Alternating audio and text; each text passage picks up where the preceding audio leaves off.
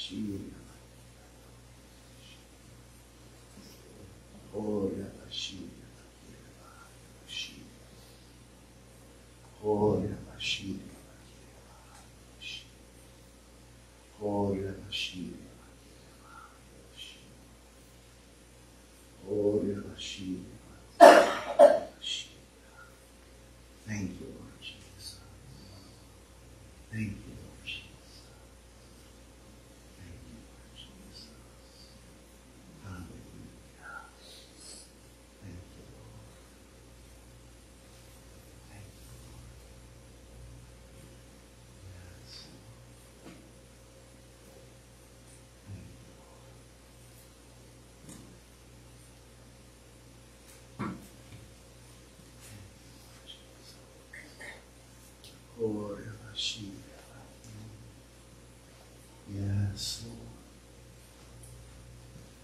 Lord Jesus, we just bless your holy name. Yes. Just bless the Lord in this place. We declare you the mighty King, the worthy Lamb.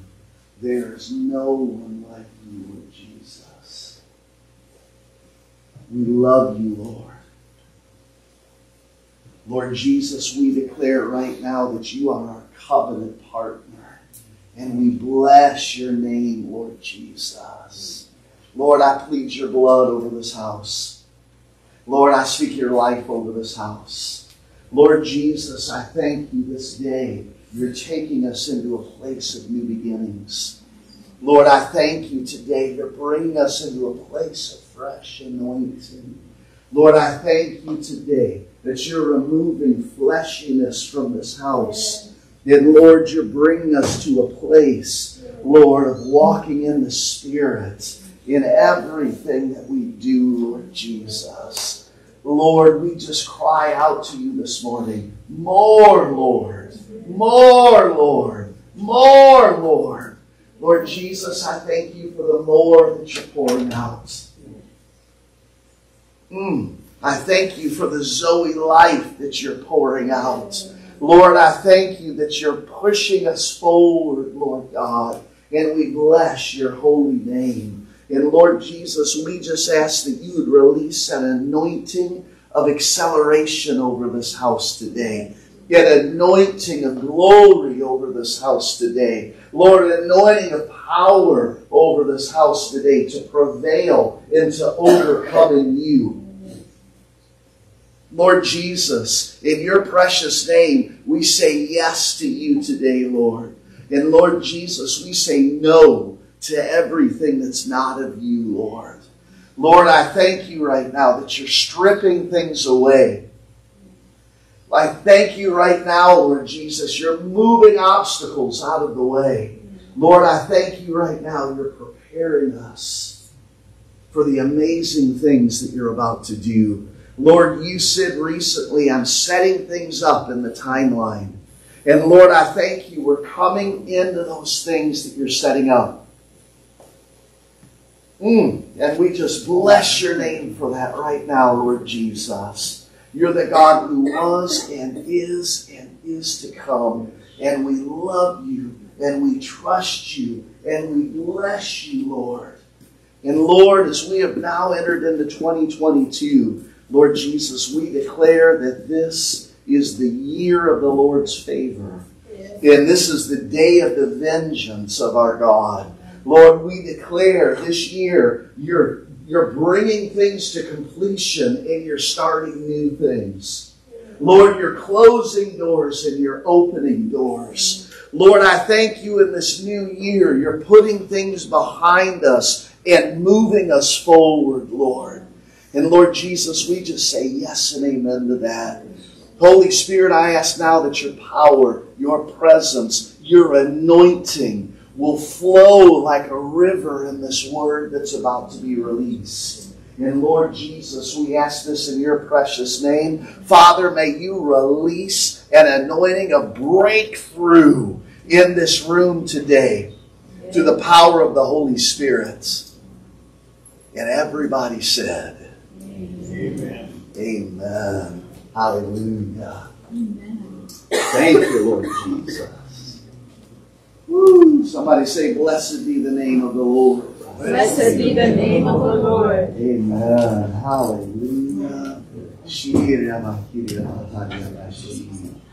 Orya Bashirya Bakirya Baharya Bashirya. Orya Bashirya Bakirya Bahar. Thank you, Lord. Thank you, Lord. Thank you, Lord. Thank you, Lord. Hallelujah. Yes, Lord. Thank you, Lord. Thank you, Lord. Thank you, Lord. Thank you, Lord. Hallelujah. Thank you, Lord. Thank you, Jesus. Oh, hallelujah. Hallelujah. Hallelujah. Thank you, Lord. Is anybody excited about the Lord Jesus? Yeah. Amen. Hallelujah. Hallelujah. Oh, thank Hallelujah. you. Oh, thank you, Lord Jesus. Oh, hallelujah. Thank you, Lord Jesus. Woo, we just bless the name of the Lord. Oh, don't we in this place? Oh, we just bless the name of the Lord. Oh, hallelujah, hallelujah, hallelujah, hallelujah. Glories. The lights are coming on this morning. How many are ready? Woo, glory to receive from the Lord this morning. Yeah. Amen. Hallelujah. Hallelujah. Hallelujah. Hallelujah. Lord Jesus, we just give this time and the Word to you right now. Holy Spirit, we ask for a word that's going to awaken us to what it is that you're about to release in our lives in 2022. Lord, give us eyes that, that see and ears that hear what the Spirit of God is saying to the church. And Lord, I just ask you to have your way. Lord Jesus, have your way. Lord Jesus, in humility and surrender, we completely give 2022 to you, Lord Jesus. In humility and surrender, we completely give this year to you, Lord. And Lord, now that we're completely awake, we just say, God, you got this. We just surrender to you and we just bless you in Jesus' name. And everybody said, Amen. Amen. Hallelujah. Blessed be the name of the Lord. All right. Cindy, how are we doing on the sound? You good? Amen. Thank you. Amen. It's the four. Okay. Hallelujah. Are we working now? Sounds like we're working now. All right. Hallelujah. If you got the word with you, let's go to Acts chapter 27. Acts chapter 27 today. Hallelujah. How many are ready to receive a word from the Lord? Yes. Amen. Amen. Thank you, Lord Jesus. Hallelujah. Hallelujah. Hallelujah. Thank you, Lord. Glory.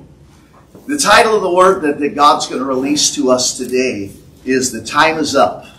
Hallelujah. The time is up. And that word should get us excited this morning because I'm decreeing and declaring over us in the name of Jesus that the time is up on every lie of the enemy. The time is up on every misconception of the enemy. The time is up on every misconstruing of the enemy in Jesus' name. We're just declaring that the time is up. How many received that in Jesus' name? Amen. Hallelujah. And we want to keep in mind this year that the Lord is saying, even though this year is not always going to be an easy year, and the Lord doesn't want us to go into this year thinking it's going to be all sunshine and rainbows. The Lord wants us to go into this year understanding that no matter what happens, He alone is God. Yeah. No matter what happens, He's got it. Can I hear an amen? Yeah. Our God has got it. And even in the midst of some uncomfortable things this year, God is going to do amazing things. The question is going to be, what is our focus on? Anybody hear that in the Lord? The question is, what is our focus on? And we need to keep our eyes focused on the Lord Jesus this year. Amen. He is the author and He is the finisher. Can I hear an amen? Amen. Amen. Hallelujah. So let's go to Acts chapter 27 today, and we're going to start in verse 13. Acts chapter 27 and verse 13. And I believe God's going to use this word to prepare us for what is going to come in the new year. Can I hear an amen? Amen. God's going to prepare us for what is going to come in the new year. So let's stand to honor the word of the Lord. Acts chapter 27 and verse 13. Hallelujah. And this is what the word says. When a gentle south wind began to blow, they thought they had obtained what they wanted. So they weighed anchor and they sailed along the shore of Crete. Before very long, a wind of hurricane force, called a nor'easter, swept across, or swept, swept down from the island, and the ship was caught by the storm and could not head into the wind. So they gave way to it and were driven along. And as we passed the lee of a small island called Cauda, we were hardly able to make the lifeboat secure.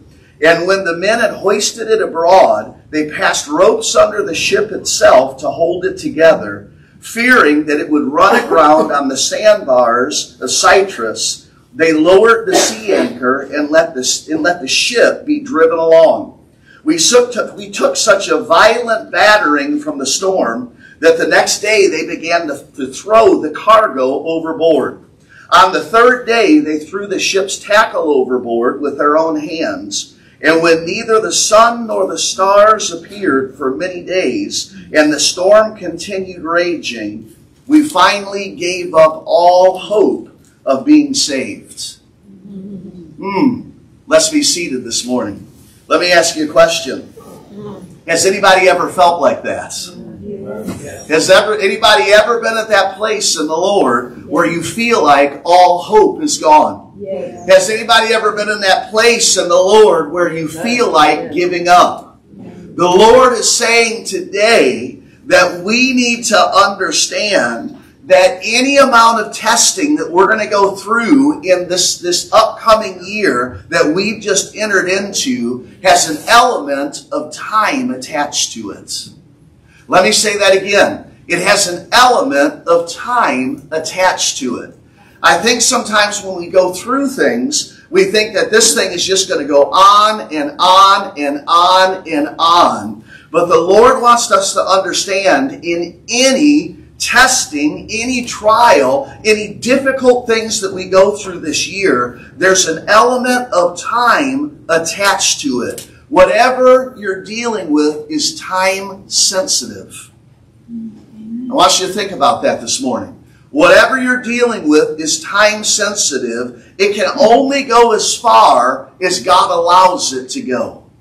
It can only go as long as God allows it to go. How many are receiving that in the Lord right now? Sometimes we go through things and, and we just kind of get this idea that, you know what, this thing is going to go on and on and on, and there's not going to be an end to it, and God, where are you? We've got to understand that God is the one that sets the beginning and the end of everything. And God is setting a boundary on the things that you're going to go through this year. They're only going to go so far. How many receive that in the Lord? Amen. But God wants us to also understand this. With our mouth and with our attitude, we can stretch the testing longer than what God wants it to go. Yes. Amen. If we're not careful, with our mouth and with our attitude, we can stretch this out longer than what God wants it to go. How many are understanding that? So, in the midst of the things that go on this year, God wants us to watch what we say with our mouths. He wants us to have our mouths under submission to Him. How many receive that? The Lord says, watch our attitudes. He wants us to have our attitudes in a place of submission and surrender to Him. How many are willing to receive that in the Lord? So God is putting a boundary on the things that are going to happen this year. We want to stay within the Lord's timing. We don't want to run ahead of Him. We don't want to wait behind Him. But we want to walk step by step with the Lord in this new year. I want you to look at it this way. We are yoked with Him in this new year. When animals are yoked, there's two sides to the yoke. Two animals are in it. There's a strong side and a weak side. And the stronger animal is put on the strong side, the weaker animal is put on the weak side, so the weaker can be led by the stronger. And the Lord is saying this year that He wants us to be yoked with Him. We are yoked with Christ Jesus. And how many know the Lord is in the strong side of the yoke and we're in the weak side? But in our weakness, He is strong. Yes. Does anybody receive that in the Lord? In our weakness, He is strong. Do you receive that in the Lord this morning? Yes. Glory to God. So there's not anything that we're going to go through that God doesn't have. Amen? And the Lord says in 2022, the Lord doesn't want us to attempt to force things to happen. We need to allow things to birth naturally in the spirits.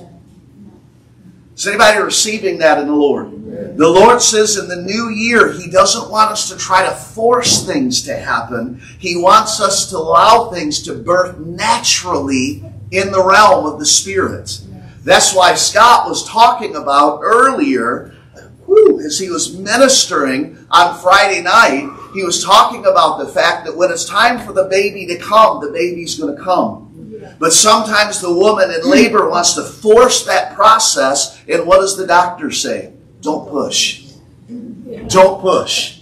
But yet at that very moment, what does the woman feel like doing? Pushing. Let's get this thing through. Let's get this thing over with. The Lord says this year, push when He says to push. He says wait when He says to wait. He said hold when He says to hold. How many receive that in the Lord? Amen. We want to stay in God's timing. The Lord said, I have to laugh. As the Lord was releasing this word in the secret place, I heard the Lord say, There's going to be no C sections this year. He says, There's going to be no C sections this year. How many are willing to receive that? All right? A C section is man's scheduled time of delivery. God says there's going to be no C sections this year. And in fact, right after he said that, right after I heard him say, Tell my people no C sections this year, I heard him say, Don't talk, listen. Amen. He said, Don't talk, listen. Yes, this will be a year of intercession, but the Lord says, Do more listening than talking. Because He wants us to hear His voice. Things are birthed naturally in the Spirit, even when there's an element of violence to them. Things are birthed naturally in the Spirit. And God is bringing this house into the realm of violence this year. Yes. Come on. What did the Lord say about John the Baptist? Since that time, the kingdom of heaven has been taken by force or violence, and violent or forceful saints take it. God is going to bring us into a place of deeper forcefulness in the spirit this year, of speaking to mountains and seeing them moved. Can I hear an amen? Amen. But yet the Lord says, in the midst of the forcefulness, don't forget to surrender. The Lord is saying, in the midst of the power, don't forget to be meek, because meekness is power under submission. So as you see God release a greater power anointing in your life this year, keep that under submission to the Lord. Yes. Can I hear an amen? Amen. It's not your power, it's His power. It's not your timing, it's His timing. It's not your alignment, it's His alignment. Can we hear an amen? And God wants us to go through this new year on our knees before Him. And I heard the Lord say for this year, I heard Him say, now is the time that we can learn in the Spirit, be still, and learn everything that you can. Because we're going to see the Holy Spirit ministering as the teacher this year like never before. And Holy Spirit is going to draw us into His holy classroom and He's going to teach us like never before. Does anybody receive that in the Lord? Amen? Hallelujah. So be willing to go into the classroom of the Lord. But keep in mind, you may have to stay in that classroom longer than God wanted you to stay in that classroom if you don't listen the way that He wants you to listen. So the Lord says this is the year that we're going to listen and we're going to learn from the Holy Spirit like never before. But it doesn't mean that there's not going to be northeasters this year. Mm-hmm. We've got to understand that. In Missouri, we call them Northeasters. We just cut off a few letters, but that's what you do when you speak in Missourian. But the Lord said there will be some northeasters this year. Expect it. Expect it. Which brings us up to the question what is a northeaster? We see this in Acts chapter 27. A northeaster is a strong wind or storm coming from the northeast. Yes. Now that makes sense. But then the remainder of the second part of the definition is this a violent storm. The Lord says there's going to be some violent storms this year. Let me say that again. The Lord says there's going to be violent storms this year, but be of good cheer. He's overcome the storm. He's overcome the wind. He's overcome the waves. Our God is overcome. And we need to realize this in the Lord. The question during the storm is are you going to be willing to go into the classroom of the Holy Spirit and listen to what God is saying in the midst of the storm? Does anybody receive that in the Lord?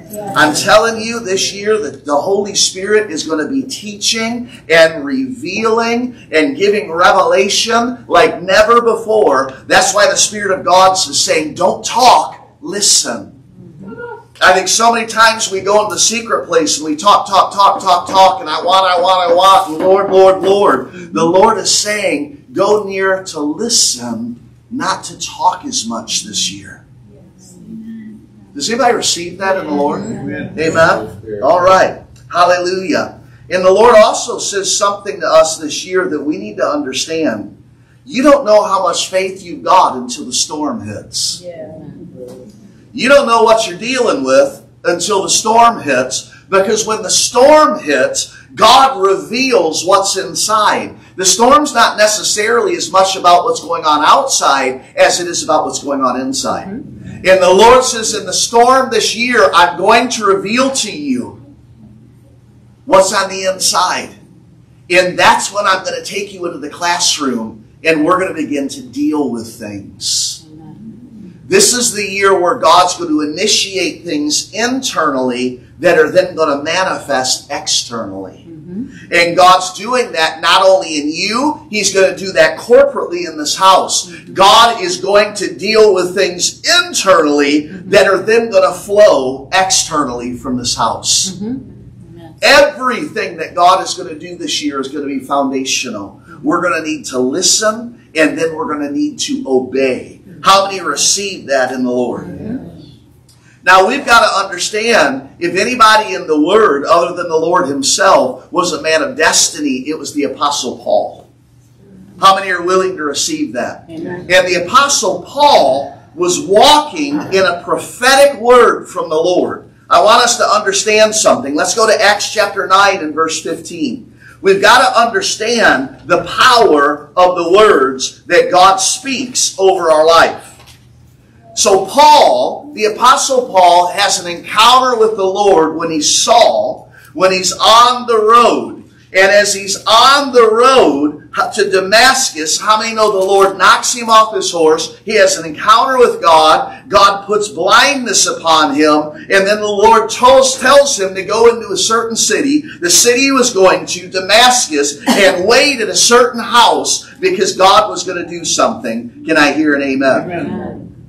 So God has strategically placed an intercessor in that town.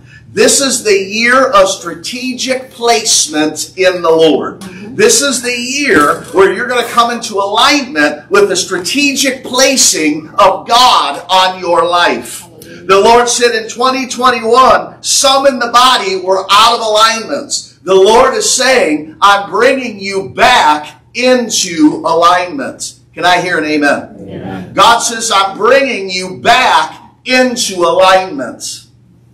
So God is aligning. He always has an intercessor in a place of alignment. Now I want you to notice what the word says. Ananias was in his time of prayer.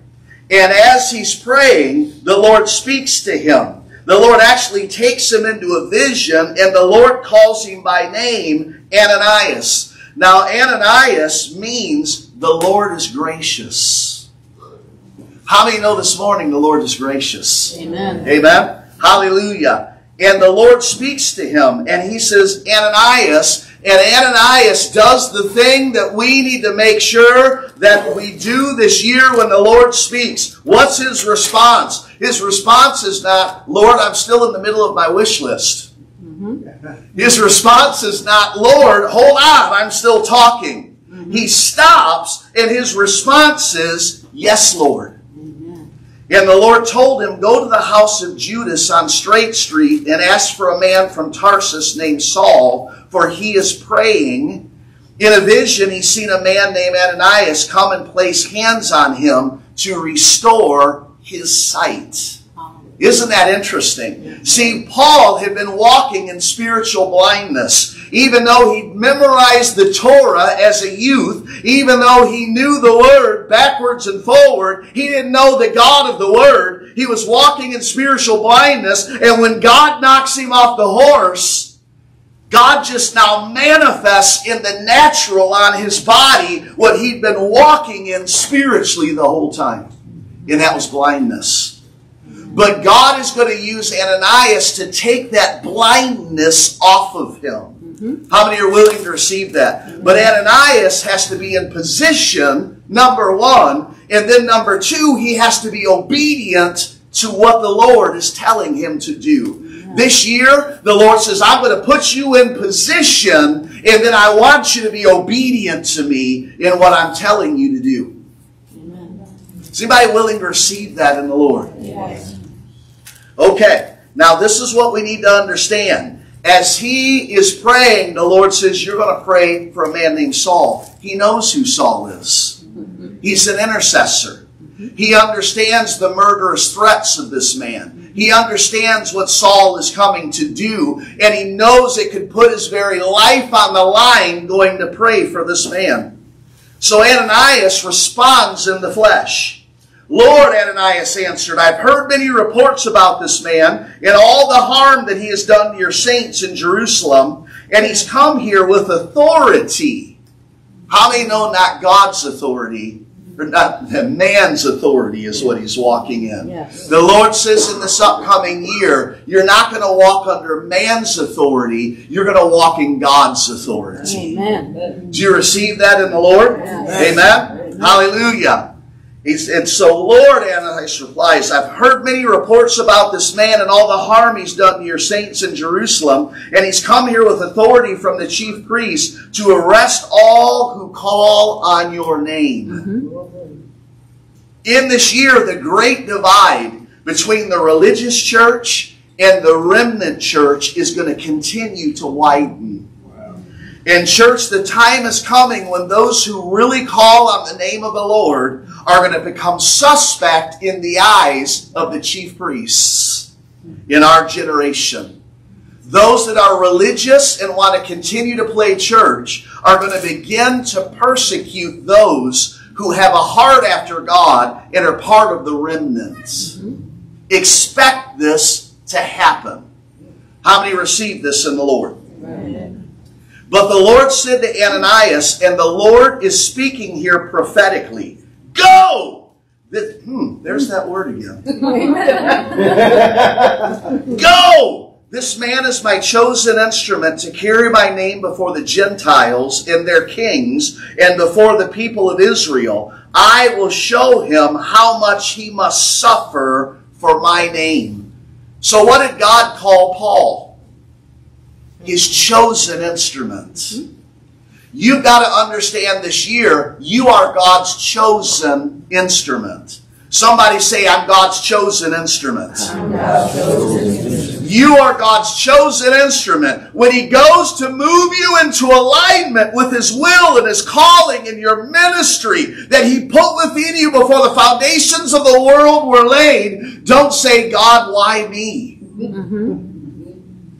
Say, God, why not me? Amen. Because the Lord says you're coming in the season this year. Amen. The Lord says you're coming in the season. I'm watching ministries come into season. I'm watching hearts come into seasons. I'm watching your healing and deliverance come to you to prepare you for your breakthrough season in the Lord.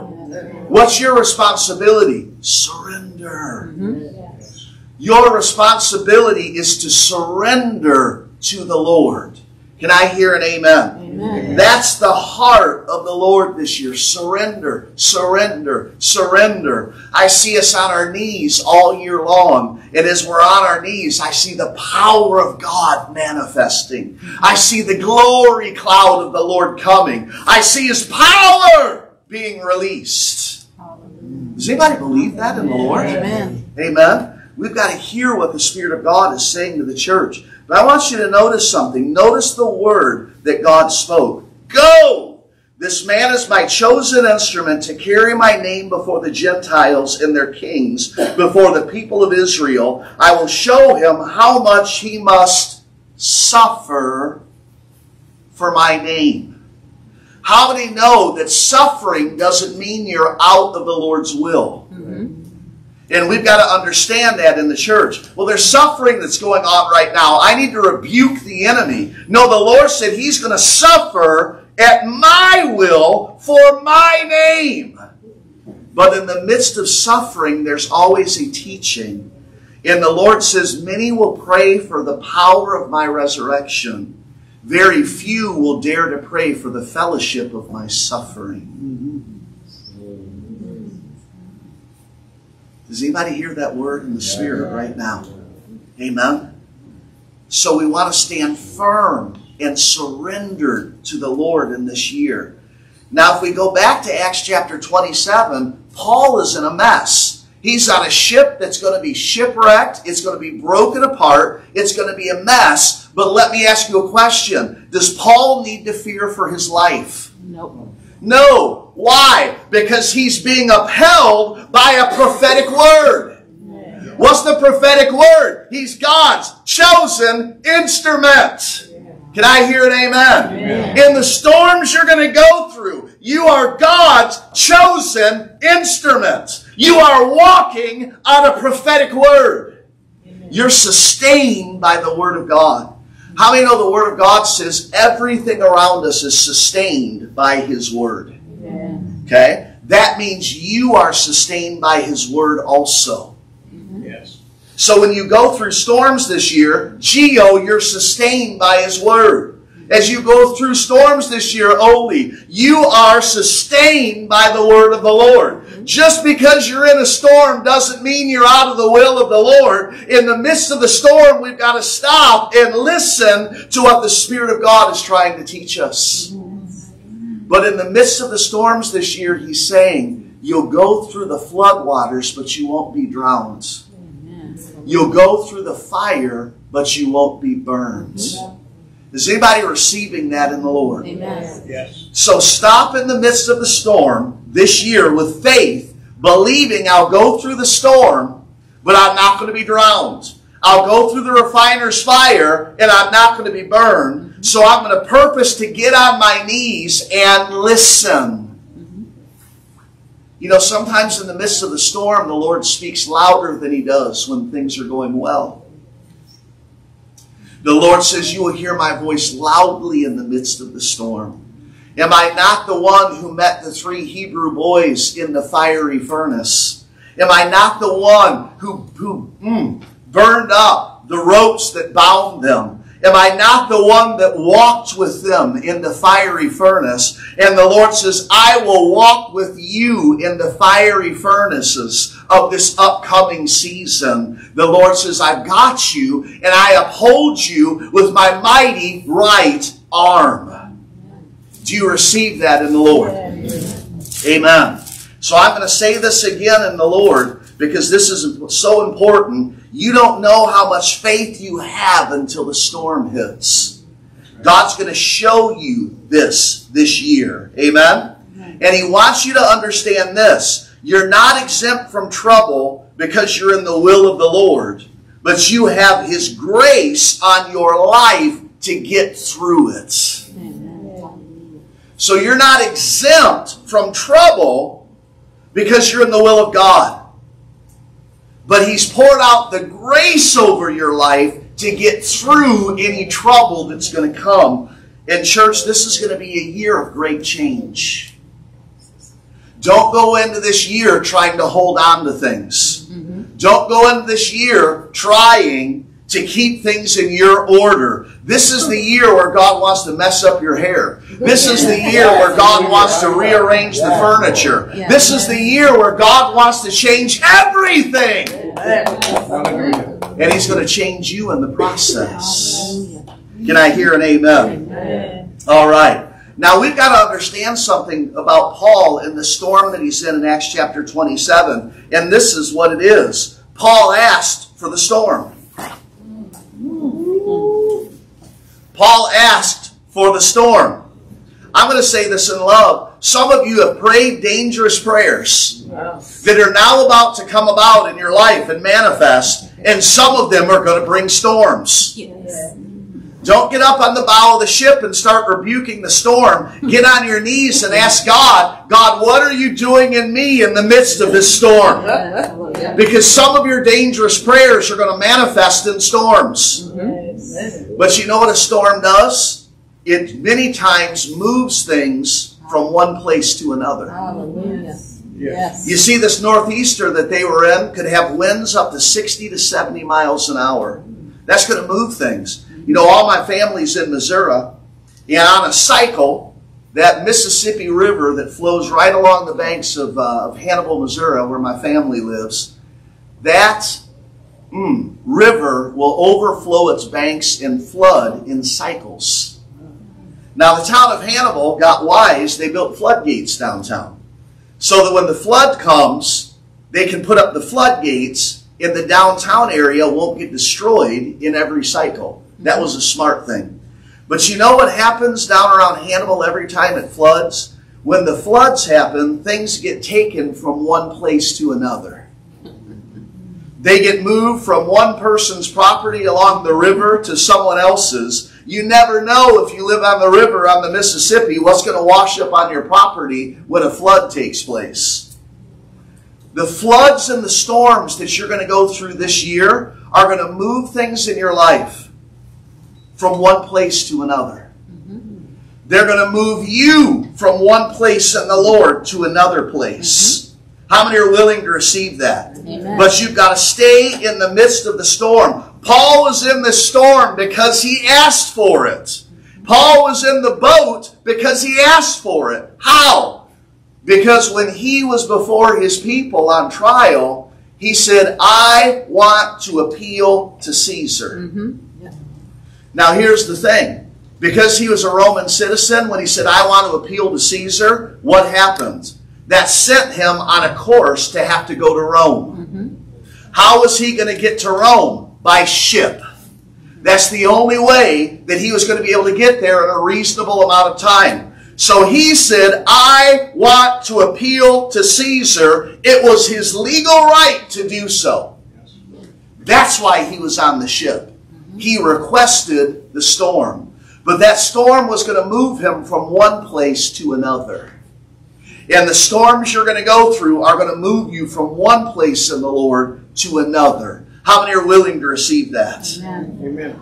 Now it's interesting that the Caesar that he wanted to appeal to was no other than a Caesar by the name of Nero.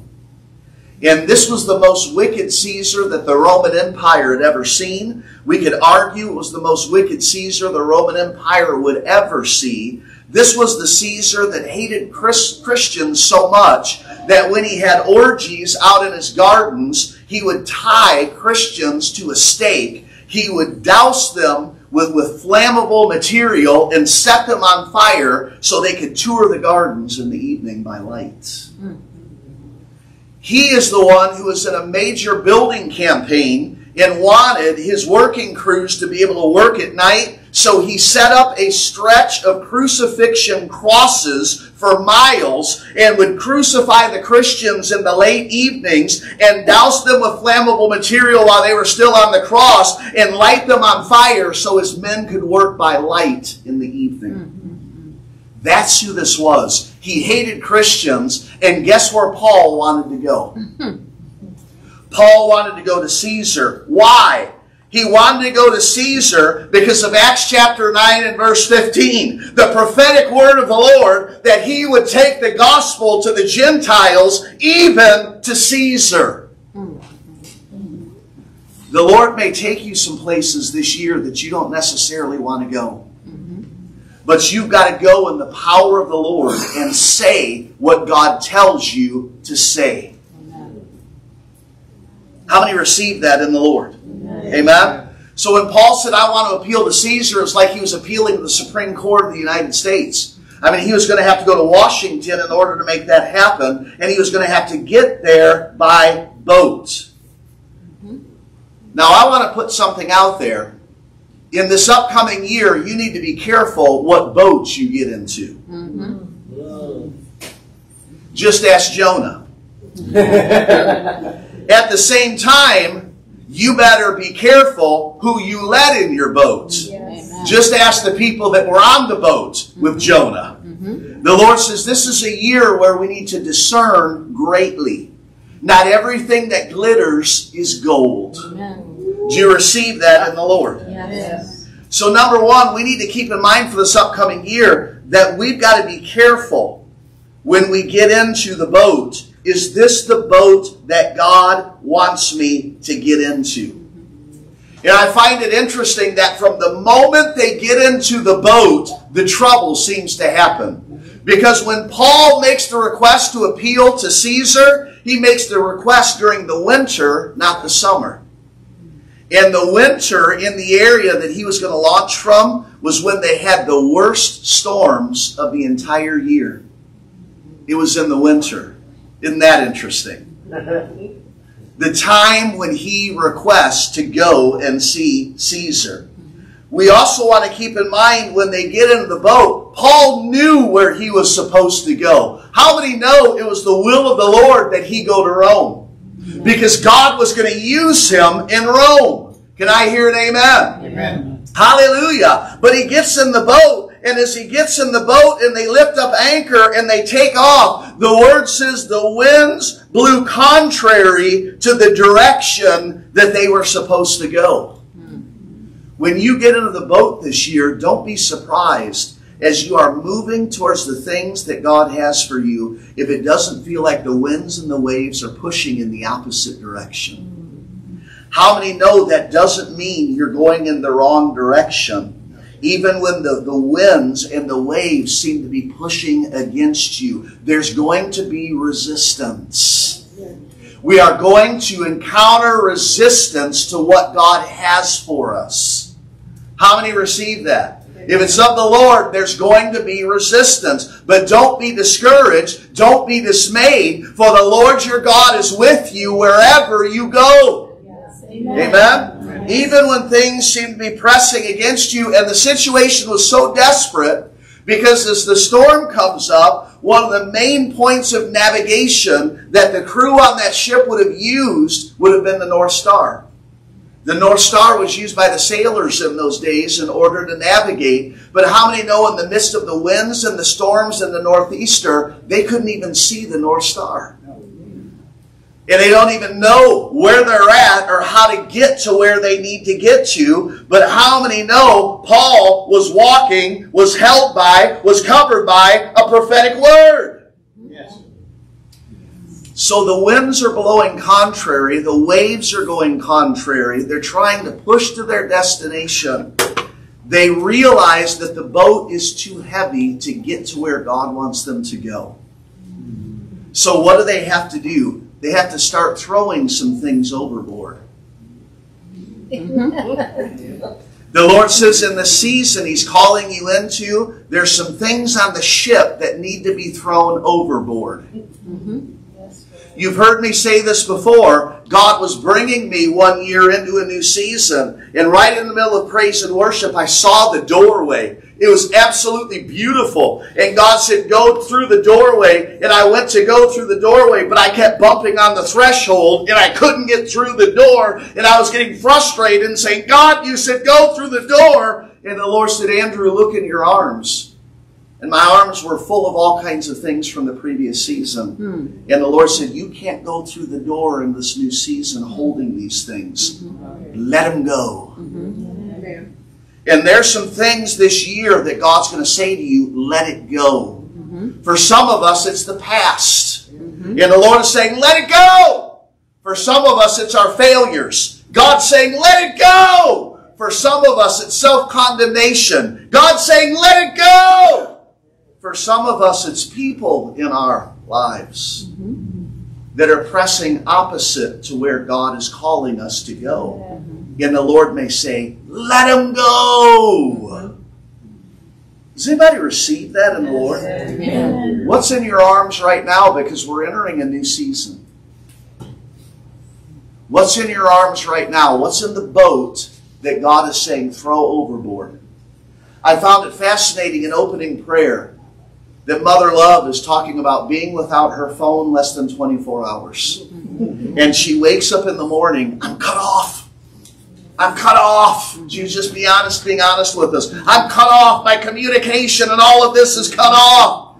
Anybody remember a few decades ago Good on that.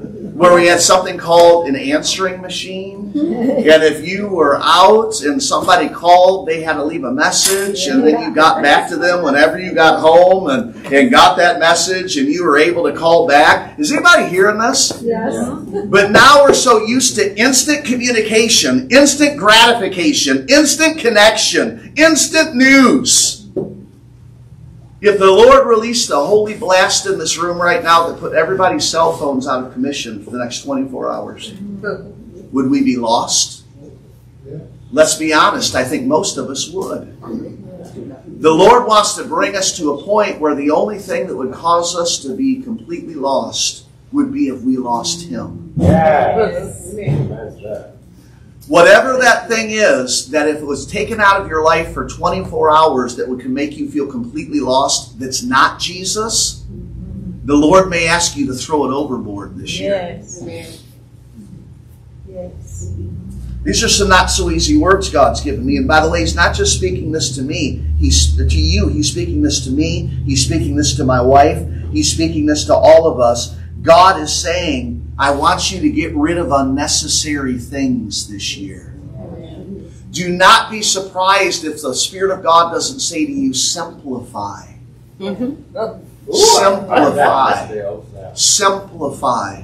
Because some of us have so much stuff that we don't really have the stuff. The stuff has us. And God is saying, I want you to throw it overboard. But Lord, but Lord, but Lord. Very interesting. John and I were taking a walk through the forest preserve here this last week, spending time together and with the Lord, just to enjoy in the Lord's company and each other's company. And the Lord said, You know what the toughest words are that God's ever going to say to you? Give it away. The Lord may say to you for some things in this year, give it away. But you know what's interesting is they're throwing things overboard and they're still trying to press forward to get to the destination. Then they run aground on a sandbar. And the interesting thing about a sandbar is another thing I saw in the Mississippi. An interesting thing about a sandbar is if you ran your boat into a sandbar, you were stuck. You were stuck. Once you're on a sandbar, you can't get to where you want to get to. You are stuck. There's going to be some times this year where you feel like you hit a sandbar. The Lord says when that happens, fall on your knees and listen. Because God's going to move things out of your life this year that you've been crying for Him to remove for years. Mountains are going to move. Strongholds are going to fall. Things in your way are going to get pushed out of the way this year. Do you believe it? Yes. You know, the, the thing as a kid who had a lot of experience on the Mississippi when I was growing up, I understood this. Sandbars were interesting. They were a double edged sword because they would appear through the flow of the river, and a sandbar could just kind of show up out of nowhere. You, you didn't always know where they were going to be. But they would appear like good and solid ground. That was a double edged sword. If you ran into them with a boat, you could get stuck. But we also knew as kids, never go to a sandbar and anchor your boat and go out on that sandbar and hang out and swim because as quickly as the sandbar was developed by the river, the water can swirl and it disappears just that quickly mm-hmm. and can pull you down into it when that happens. The Lord says some of us have been have come into this year stuck on a sandbar. God says as easy as you got stuck on it and you felt held by it, I can remove it that quickly. Does anybody receive that in the Lord? Yes. So if you felt like you came into this year stuck on a sandbar, trust the Lord. Can I hear an amen? Amen. Now it's very interesting that as Paul is in the ship, one thing after another after another happens. If it's not the winds, if, it, if it's not the waves, if it's not the sandbars, if it's not throwing things overboard, not working, it's going to be just more things after more things trying to hinder, try to hinder, trying to hinder, to the point that right in the middle of everything, the entire ship that they're on breaks apart. This year, if you are on a ship that breaks apart, trust the Lord. Because sometimes we're on the wrong ship and God breaks it apart to move us into a new place. Sometimes that place is inside of us, sometimes that place is outside of us. Does anybody hear what the Lord is saying? All right. So they're trying to get to their destination. The winds are now pressing them inland. They hit a sandbar and the entire ship breaks into pieces. When that happens, they've got to grab a floating piece of the broken ship and try to get to shore. Anybody ever been there before? You were right in the midst of something that you thought was going to be so amazing in the Lord. And all of a sudden, it just seemed to fall apart. Maybe it's something in your personal life, some area of your, some aspect of your life. And now you find yourself floating on one of the broken pieces, trying to get to a place of safety. How many know whether you're in the boat, you're in the storm, or you're feverishly trying to paddle to shore on a piece of the broken boat, our God is still God? Amen. How many receive that in the Lord? And as some things break apart this year that you thought wouldn't, grab a piece of the broken ship and start paddling to shore because God's plan for your life isn't done. Mm-hmm.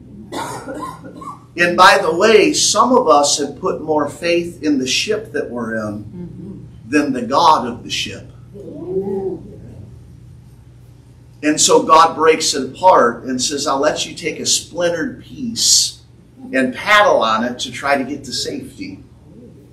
Come on. Some of you are at the edge of this season.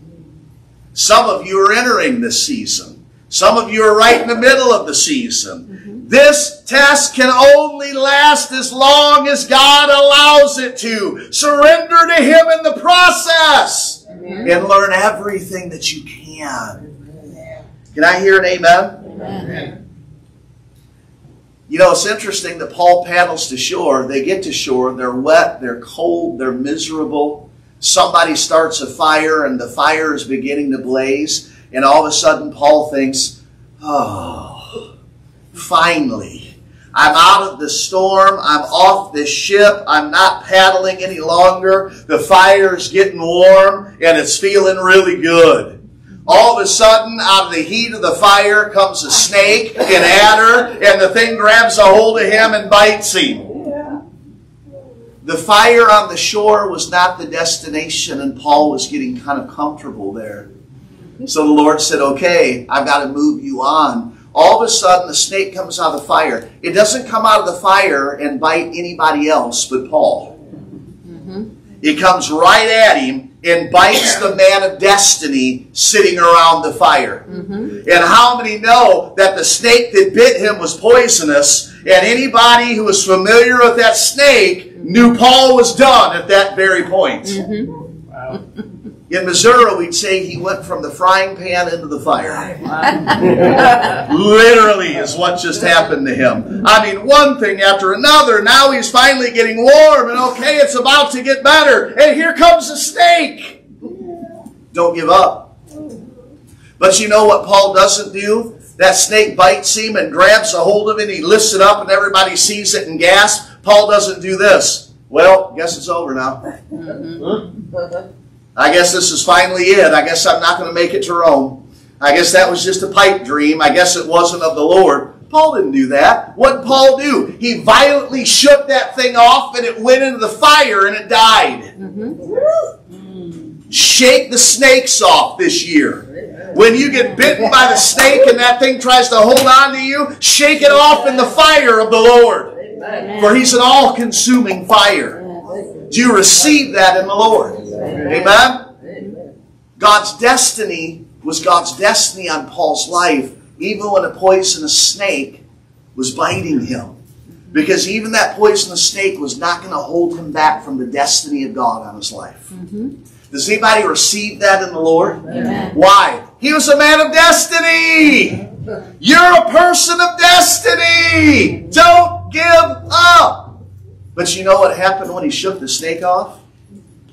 Then the accusations came. You know what? That man escaped the northeaster. That man escaped the ship breaking into pieces. That man got on the shore where he should have been safe. Now he gets bit by a poisonous snake. He's really a criminal. He's a murderer. Yes. Yes, he was. Mm-hmm. But the, and they were speaking the truth, but they weren't speaking the truth of who Paul was as he was around the fire. Mm-hmm. They were speaking the truth of who he had been. Yes. Mm-hmm. See, sometimes you're going through that storm and, and you think it's finally over and it's finally over and I'm going to come out on the other side of this thing. And now folks start talking about you. Now folks start saying things about you. I just got by the fire and it's starting to get warm and now I'm bit by a snake and now the people around me are turning on me. Accusation has come. Shake it off. Amen. You are who God says you are. And do not be surprised this year as you step into your destiny if the mouths don't start start moving. Oh, really? You hear Sister So and so is stepping into her ministry? Oh, really? She's stepping into her ministry? She's just blah, blah, blah, blah, blah, blah, blah. You know what those are? Those are curses. Mm-hmm. You stand against those curses through the blood of Jesus. And in this house, as people are stepping into their ministry, we're going to lift their hands up. And we're going to stand with them and encourage them as we see them walk in their destiny. Yes. Does anybody receive that in the Lord? Because this is a house where people are going to be raised up in their ministries. And they're going to walk in their ministries in this house. God's using this as a training ground. But as they walk in their ministries and God blesses their ministry to flourish in this house, then God may call them into another season outside of this house. How do we respond? Yes. Oh, this house, we've loved on him. We poured all kinds of time and ministry effort into him. We've helped raise him up. And now he wants to go? Mm-hmm. You know what? When God's calling them into their new season, we're going to bless them Yes. into the new season because God is establishing kingdom relationships. Amen. And those ministries are going to work together for the kingdom in the time that remains. Mm-hmm. Amen? And as a shepherd in this house, I understand with you, investment isn't ownership. You belong to Jesus. You're being raised up for the bridegroom and your ministry for his kingdom. Yes. Now, I'm excited it's going to grow and flourish here, but come on now. It's not only in this house. Mm-hmm. God's going to use that ministry for the kingdom. I want to see apostles raised up here, pastors raised up here, prophets raised up here, teachers raised up here, evangelists raised up in this house, revivalists raised up in this house. Are they going to function in this house? Yes, but God's going to call others to go and start ministries. Apostles create something in the Lord that can be reproduced. Amen. And some of the greatest blessing for me will be to see people raised up in this house in their ministries and then go birth other ministries. Mm-hmm. Now, I'm relational. It can be hard to let go, but my papa's heart in the Lord says, Yes! Mm-hmm. Amen? Hallelujah. Praise God. God's good. Amen. Mm-hmm. Hallelujah. Listen to the voice of the Holy Spirit. Amen. Now, I want you to understand something. So many times I've noticed with the people of God, when the Northeaster comes, when difficult things begin to happen, they begin to develop an attitude like this You know, I'm getting what I deserve. I messed up. I blew it. I did this. I'm not enough of this. I'm not enough of that. How many know that that's not the voice of the Lord? Mm-hmm. And I want you to know when storms come up this year, the trouble you're going through isn't about your past, it's about where God's about to take you. Amen. See, the enemy always wants you to focus back here. Because what's back here will never help you get to what he has that's up here. This will only keep you stuck. There's a sandbar behind you. Do not step back into it, or the waters will swirl and you'll get sucked down into it and you're done. The Lord says your future is not in your past. Mm-hmm. So the Lord is saying, let's keep our eyes focused forward this year. What you're going through isn't because necessarily you've done something wrong. It's about where God is going to take you. Even when the attack comes through people.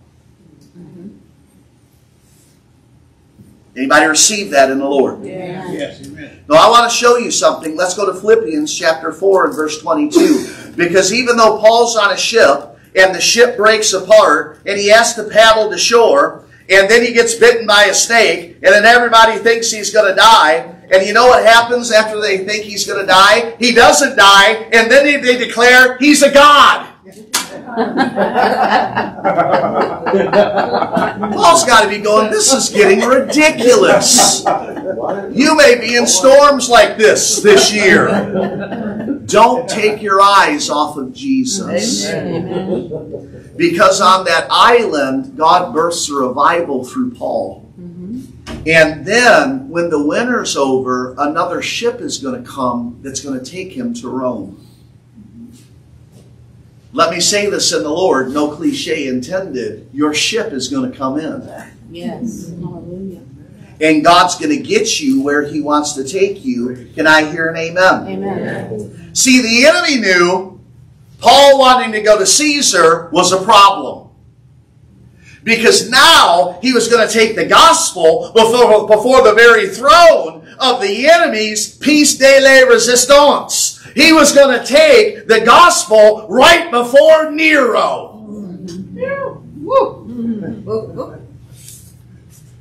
So the enemy says, okay, we're going to bring a northeaster going here. Okay, we're going to break this thing apart. I'm going to do everything I can do to try to keep Paul away from Rome. See, Rome was the destination, not the problem. Do not give up on the call of destiny on your life. Can I hear an amen? Amen. How powerful was it going to be? Well, can I be real graphic about Nero for just a quick moment? At a point in Nero's reign, Nero does something that was completely baffling even to his own leadership team. He executes his wife and he marries a boy that looks just like his wife. This is history. You can study this. He was flagrantly homosexual, bisexual, anything that could go on. Nero was involved in it. And this happens, and nobody seemed to understand why. I think the why of this is hidden in Philippians chapter 4 and verse 22. I want you to see what the word says as he's giving his final greeting to the Philippians. All the saints send you greetings, especially those who belong to Caesar's household. Whose household? Caesar's household. Jewish rabbis have taught, interestingly enough, that under Paul's ministry in Rome, once he finally got there, Nero's wife got saved. And there was a Bible study that went on secretly in Nero's own palace. And rabbis have taught through the rabbinical teaching over the years that Nero find out, found out, and that's why he had his wife slain. Yep. So what does God do through Paul? Brings revival to Nero's own households. Mm-hmm. Don't you think the enemy was a little angry about that? Mm-hmm. Let me ask that again. Don't you think the enemy was a little angry about that? Yes. I want you to see something. Romans chapter 16 and verse 20. Romans chapter 16 and verse 20. If you stay in the destiny that God has for your life, amazing things are going to begin to happen. Can I hear an amen? Amen. And you know what Paul realized in the midst of shipwreck and storm and snake bite and people turning against him and ministering before an evil emperor and all of this? Notice what he says in Romans 16 verse 20. The God of peace will soon crush Satan under your feet. Amen. Amen. So in the midst of the storms that you're in in 2022, I want you to keep Romans 16, 20 in front of you. The God of peace, who gives you peace even in the midst of the storm, will crush Satan under your feet. He doesn't say might crush, could crush. Mm-hmm. If you do everything right, will crush. No, the word says the God of peace, the God of shalom, the God of nothing missing, nothing broken, even in the storm, will crush Satan under your feet. Amen. Do you receive that in the Lord? Yes. Keep that in front of you in the midst of the storm. Do you know the storm came up because of where Paul was going? Let me ask you a question. Where are you going in 2022? Mm-hmm. You're going somewhere. Where are you going? You're going to great places in the Lord. You're going to new dimensions in the Lord. You're going to new places in Him where He's going to tear down strongholds. You're going to go into places where who you truly are in the spirit realm is going to begin to manifest through you in the natural. Let me tell you where you're going. You're going somewhere in the Lord. And it's going to be mighty in Jesus' name. Can I hear an amen? Amen. Now let's shift away from Paul, and, and I want to begin to just release a couple things to you that God is saying very specifically about 2022. Mm-hmm. Because the bridegroom never desires to keep anything a secret from his bride. Do you receive that in the Lord? Amen. All right. So we've got to understand in the Lord, the Hebrew year always runs parallel to our year and our Gregorian calendar. We've got to understand that. Okay? So our calendar is uh, a solar based, a sun based calendar, and the Hebrew calendar is a lunar based calendar, a moon based calendar. So the years are not going to quite add up the way that we look at the years. And the way the Jewish calendar is even set up, they have a, a, leap year of catching up, so to speak, periodically, which kind of moves the feast in the different places in the years, right? And that's why they ultimately, uh, ultimately have these catch-up times in their calendar, so the fall feasts don't start ending up in the spring feast, and the spring feast and the fall feast, to try to keep this calendar in alignment. So we've just come into the year 2022 in our calendar. The Hebrew year is the year 5782. Now, the Hebrew year 5782, the Jewish nation came into that year during uh, right around September 6th during Rosh Hashanah. Now, I want us to understand spiritually, we entered with Israel into 5782 September 6th because we're grafted into the vine. Mm-hmm. Can I hear an amen? We've got to understand that. But there's also very specific anointing, door opening, and power being released over God's people in the year 2022. Does everybody understand that? All right. So we want to understand a few things about this year that God wants to do. This is the year that the voice of the Lord is going to begin being heard in the house of God more loudly than ever before. See, we've got to understand this entire decade that we're in, the decade of the 20s As we were crossing over from 2019 into 2020, the Lord said, This is the roaring 20s that we're coming into. Now, if you study the 1920s, that they called originally the Roaring Twenties. It was a great time of change, a great time of shifting, a great time of celebration and joy, mm-hmm. interestingly enough. It was a fascinating time as far as the world was concerned. Mm-hmm. We're going to see the spiritual aspect of that in this decade, and we are seeing it. It's interesting, this entire decade in the Hebrew is the decade of pay. And it's the decade that in the Hebrew symbolizes the mouth. Yes. And it's the year for God's people to decree and declare what is being spoken from the throne of God. This is a very prophetic decade. Can I hear an amen? amen? So, what did the enemy try to do at the beginning of this decade? Put masks over the mouths of God's people so they could not declare and decree. Yeah.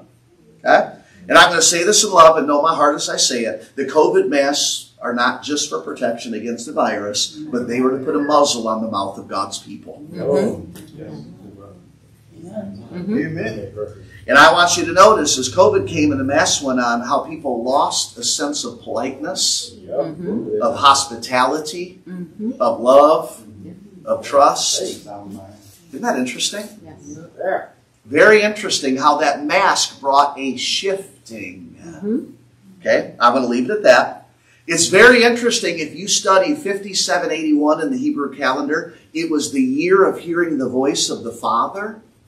5782 is the year of hearing the voice of the Lord Jesus. Mm-hmm. Interestingly enough, and how is the Lord right now manifesting from the throne at this point in history? He's the soon and coming King.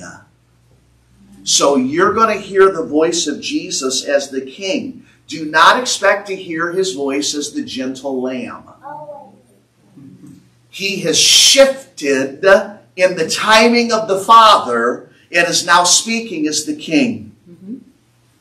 Do you receive that in the Lord? All right. So this is the year that the voice of God is going to be heard afresh and anew in the house of God. Amen. That's why this year God is birthing a prophetic council in this house. Sister Jean is going to head up the prophetic council. God is putting together who He wants on that council. Everybody out in this house is prophetic because we can all hear the voice of God. But God is putting together a small prophetic council that's going to come together to press in in intercession and really hear the voice of God and release those words over this body. The Lord said, It's time. Can I hear an amen? Amen. The Lord also says, This is the year that things that God has spoken over your life in previous seasons are going to be birthed. There's that birthing word from New Year's Eve. The Lord said, This is the year where God is, the, the, the mm, this is the year where the things that God has spoken in previous years are going to be birthed. That means many of us have been sitting on prophetic words that we've been waiting to come into fulfill, to fulfillment or into fruition. And many of us have gone, God, when? God, when? God, when? We're like those that have been martyred that are before the throne of God that are saying, Lord, when? That's what we've been like before the Lord. When, God? When, God? When, God? And the Lord's quietly been saying, I'm not slow in keeping my promises. See, as you come into season, the birthings are beginning to happen. And there are even some things that God spoke over you in previous seasons that maybe you got a little bit angry with Him over because they haven't happened. Maybe you've gotten a little frustrated with Him because they haven't happened. Maybe you've given up on those things because they haven't happened. God says now is the season when they're going to begin to happen. Okay, I think I'm a whole lot more excited about this than you are. Amen. God says they're going to happen. I'm not slow in keeping my promises. I'm not a man that I should lie. What I said will be, will be. See, there's going to be some things that if we're not careful, that God is going to birth through us that we're going to look at it and go, God, bless that? Okay. Mm-hmm. And God's going to go, that's that thing I promised to you when you were such and such an age and you were in a service and somebody spoke that prophetic word. You gave up on it. You let it go. You mm-hmm. thought it died. And I'm breathing life into the Lazarus prophetic words in your life. Okay, I think I'm way more excited than this. Now, I love this. And, and by the way, the Lord was speaking this before Scott spoke this word. So you know this is in alignment with what God's saying. The Lord said, This is the year to make a space for new birthing. Mm-hmm. He said, Make a space for new birthing. Things are going to be birthed, but not only that, God says, Make room for them. So a couple that's going to have a baby, before the baby comes, they select a baby room. Yes. They paint the room. They get the items in the room that need to be there. They make sure there's no hazards in this room. Because the last thing they want to do is be in the travail and the delivery and one look at the other and go, oh no, we don't have a room ready for this. Amen.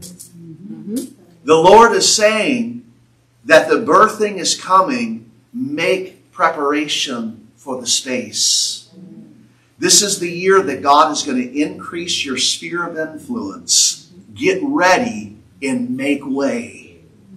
That may mean there's some things in your rooms that need to be taken out of them because God wants those rooms for something else.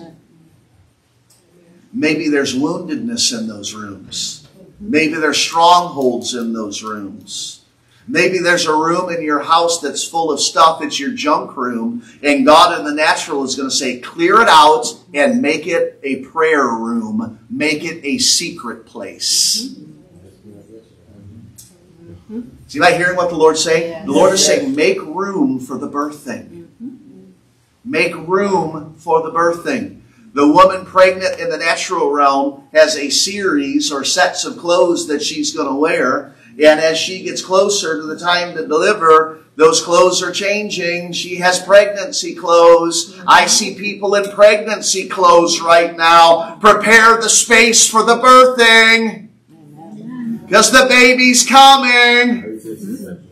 Come on. I'm more excited than you guys are about that. All right.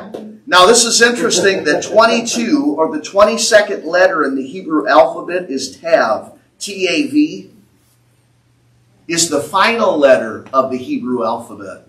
2022 is the year where God is going to bring things in your life into completion and birth new things in your life. So don't be surprised if some things come to an end and new things begin. There's some good works in you that He's going to see through to completion, and there's some brand new things that God is going to begin to do. God's also going to take some things in the natural that you've only seen one way to use them, and God's going to give you revelation of a whole nother way that He's going to have you use that thing that you've already had. The Lord said it's a year where the Lord's going to ask you, what do you have? And even if the answer is a little bit of oil, mm-hmm. do exactly what He tells you to with it. Because you're going to see a multiplication come. God's going to take things that you thought were dry and dusty. He's going to breathe on them and blow the dust off and bring them to life and multiply them. It's the year of the little boy with the five loaves and the two fish. Well, Lord, even if we had a year's wages, we couldn't feed all these people. What does Jesus say? We're in big trouble, fellas! no, he says, what do we have? We've got a little boy with five loaves and two fish. Is he willing to give them? Yes. Great! I can work with that! The Lord says this year, if you're willing to give the little that you've had from previous seasons, watch how God's going to multiply it. Does anybody receive that? By the way, He's going to do this in the midst of Northeasters. Pastor, how the two connect with each other. He's going to do this in the midst of your storms. John Coyle, right now you're in the midst of a storm. God says, I'm going to bring a birthing in the midst of the storm. Bring it. Amen. I'm going to tell on Brother John. I love him. I love my brother. I've known him since he was a teenager. Love my brother, but I'm going to tell on him right now. He showed up New Year's Eve. He looked like a Mack truck met him on Windsor as he tried to come across the road. I could see in his face he was not in a great place. I took one look at his face and I knew it. And I said to him, Brother, don't leave this building until we're done tonight. Holy Spirit told me he's not going to do that. He's going to leave. I said, John, stay in this building. John snuck out. John snuck out, and on the way home, the Holy Spirit leveled him.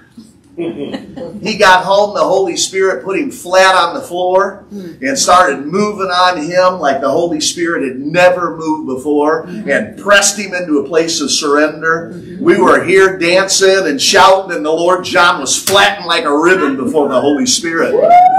And he came out of that room in the glory. Yes. Hallelujah. See, God's going to do amazing thing in the midst, things in the midst of your storms this year. Mm-hmm. Can I hear an amen? Amen. Now, stay with us. This is the year of Tav, T-A-V. It's the year of completion. Tav in the Hebrew, 22, means completion, to mark, or to sign with. It also means truth. Mm-hmm. That word Tav is used in Exodus during the Passover, where the Lord says, Take the blood of the Passover lamb with some hyssop, dip it in the hyssop, and mark the doorpost three times. That's the Hebrew word Tav. That means this is the year that God is going to mark his people and he's going to separate the holy from the profane. He's going to separate the Sunday morning players from the intimate worshipers. Mm-hmm. He is going to mark that that's his. And when the door was tabbed, the angel of death passed over. Mm-hmm. You're going to see a dying of ministries this year that look fruitful to man, but are as barren as the fig tree to Jesus. And if they are not marked with the blood, you're going to see ministries implode this year. Mark these words. These are not my words, they're the Lord's words. Remember, this is the year the voice of Jesus is going to be heard in the house. You want to know what the voice of Jesus is saying? Judgment begins with the house of the Lord. You want to be covered in the blood. Amen. You want to be covered in the blood. Amen. When they put the door on the, the blood on the doorpost, they went from left to right to middle. What does that look like? Mm-hmm. It was a picture of the cross. Cling to the cross this year. Stay in the place of the flow of the blood. Stay close to the hem of the garment of Jesus. Can I hear an amen? Amen. Does anybody receive that in the Lord? Amen. Now, I want you to see something here, and I promise I won't preach all afternoon. Um, Ezekiel chapter 9. This is a foundational word for the folks that are in this room. Can I hear an amen? It's a foundational word for those who are listening in. This is one of the most unique prophetic passages in the Old Testament. How many know they're all unique, but this is really, really unique in the Lord? Can I hear an amen? amen? Okay, so I'm going to Ezekiel 9. I'm going to start in verse 3. The word says this Ezekiel 9 3. Now the glory of God, the God of Israel went up from above the cherubim where it had been and moved to the threshold of the temple. For the houses that are tabbed, that are marked, the glory of the Lord is going to begin moving in those houses. Now it's interesting that the Hebrew people believed that when they went to temple or tabernacle, the moment they got to the door, the Spirit of God, the glory of the Lord met them and ushered them in. This is the year the glory of the Lord is going to meet you at the threshold. The threshold of this house, the threshold of your secret place, the threshold of your prayer room. The glory of God is moving to the threshold. What's on the threshold? The blood. The glory of God is going to move on the threshold. How many received that in the Lord? Get this prophetically. Get this prophetically. Can I hear an amen? And by the way, don't be offended. I watched the enemy already try to start offending today. Do not be offended. Stay under the blood. Amen? Get into a fence, you go out from under the covering. Root of bitterness comes in. Don't do that. Don't let it happen. Okay?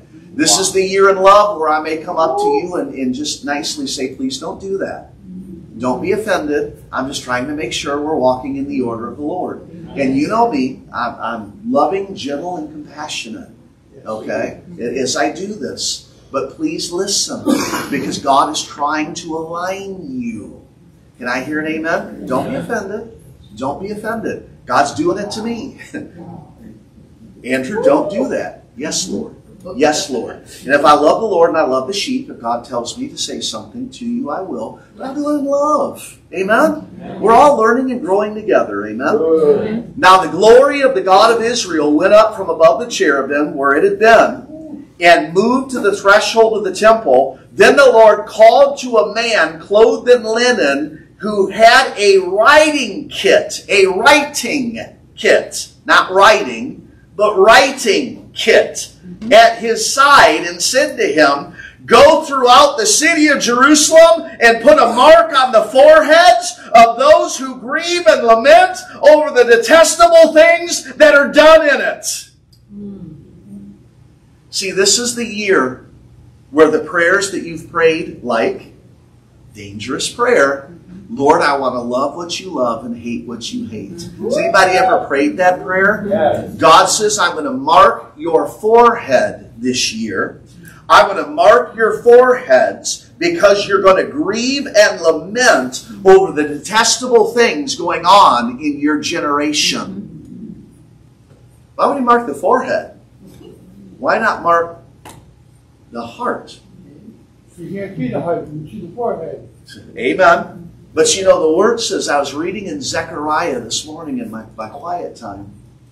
And the Lord says, as He begins to move, He said, I will mark the foreheads of those that are mine. And I will put upon their forehead the Lord's. Hmm.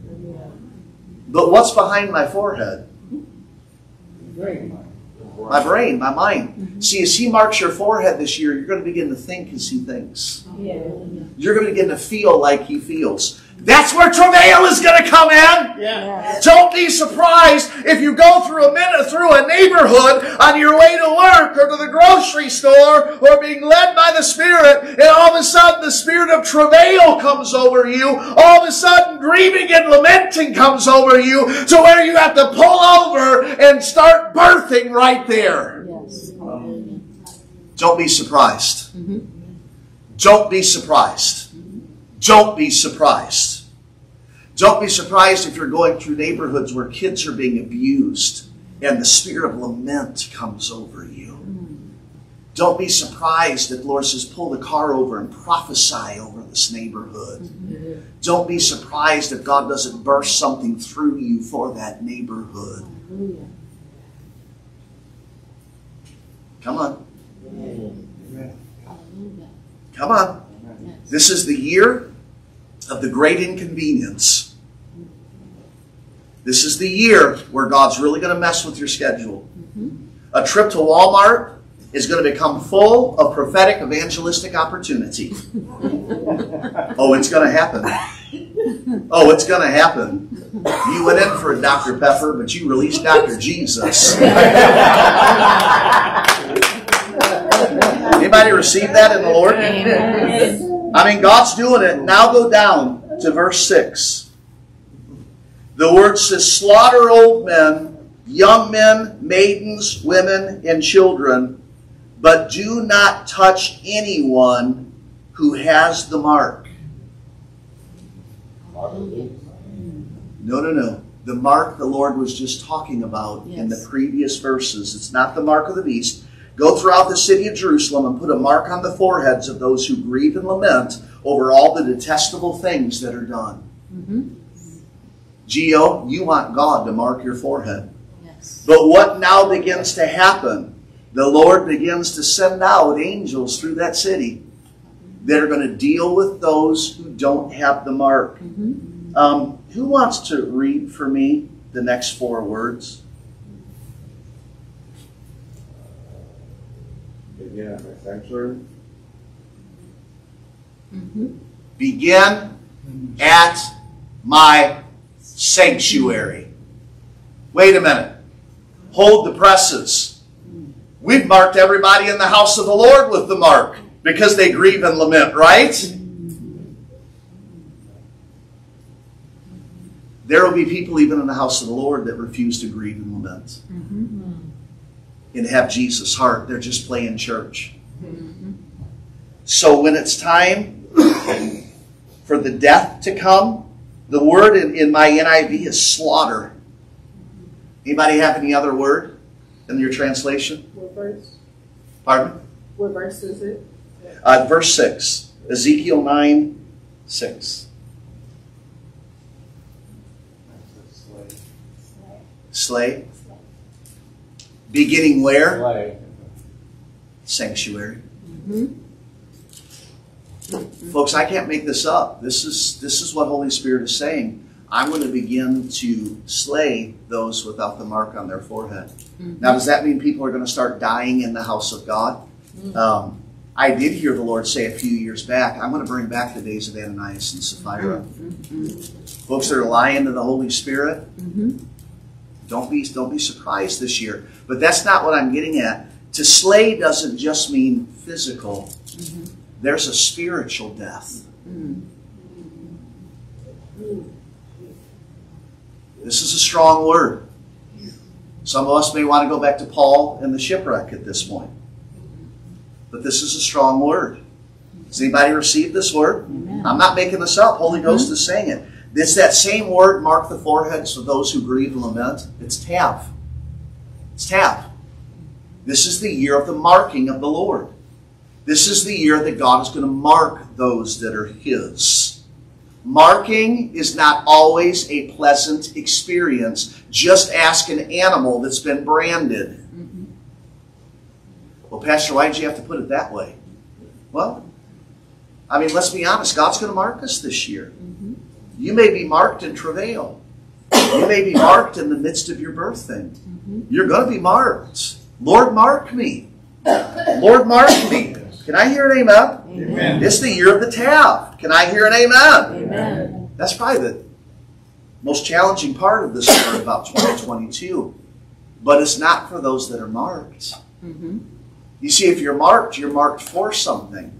An animal that's branded, it means that animal is owned by somebody. Mm-hmm. You're being marked because you're owned by the King of Kings and Lord of Lords. Don't be marked by the spirit of the age. Don't be marked by the spirit of Jezebel. Don't be marked by complacency. Mm-hmm. Don't let anything else mark you but Jesus. You only want His mark. Amen. Okay? Holly and I are marked. Mm-hmm. You marked, baby girl? Show everybody your mark. These rings that we're wearing are symbolic. You see them on the outside.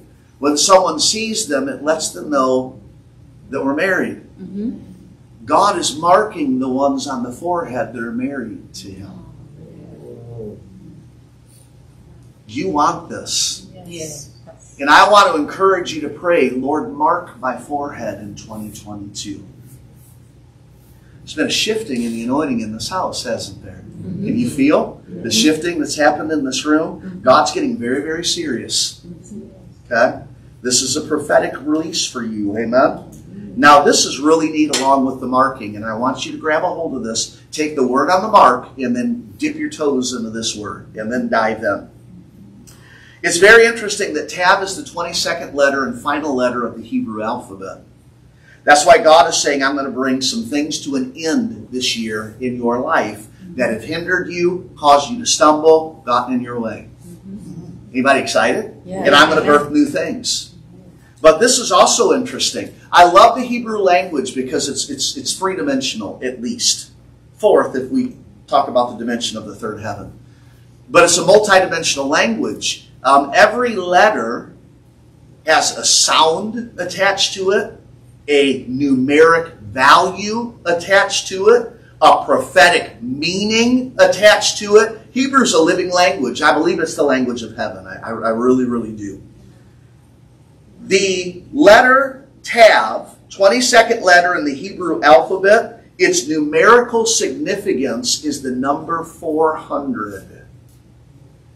It's the number 400. Egypt spent 400 years in captivity, or Israel spent 400 years in captivity in Egypt, and then deliverance. Amen. Amen. Mm-hmm. Which means what? There's some things in your life that you've been held captive to that the Lord is now saying, I'm marking you with my blood, and it's time for you to pass over. It's time for you to pass over these things that have held you back. I'm bringing you out of Egypt. I'm bringing you out of bondage. I'm bringing you out of slavery. I'm bringing you out of mindsets. Your 400 years are over. Yes. Anybody been going through anything that's felt like you've been in it 400 years? Yes. Amen, sister? Okay. Amen? Sister Shanta shaking her head. Yeah, absolutely. Absolutely. Come on now. This means this is your year of healing and deliverance. It's your year for completion. Anybody remember the word that the Lord spoke Friday night about the fact that a curse comes on individuals or nations or families that oppress the weak and take advantage Mm-hmm. of the downtrodden? Yes. And we talked about the fact in the United States of America, the Native Americans cursed the White House because we broke every major treaty we ever made with the Native American people. And then from 1860 on, every president elected in the 20th year dies in office. That's a curse. Mm-hmm.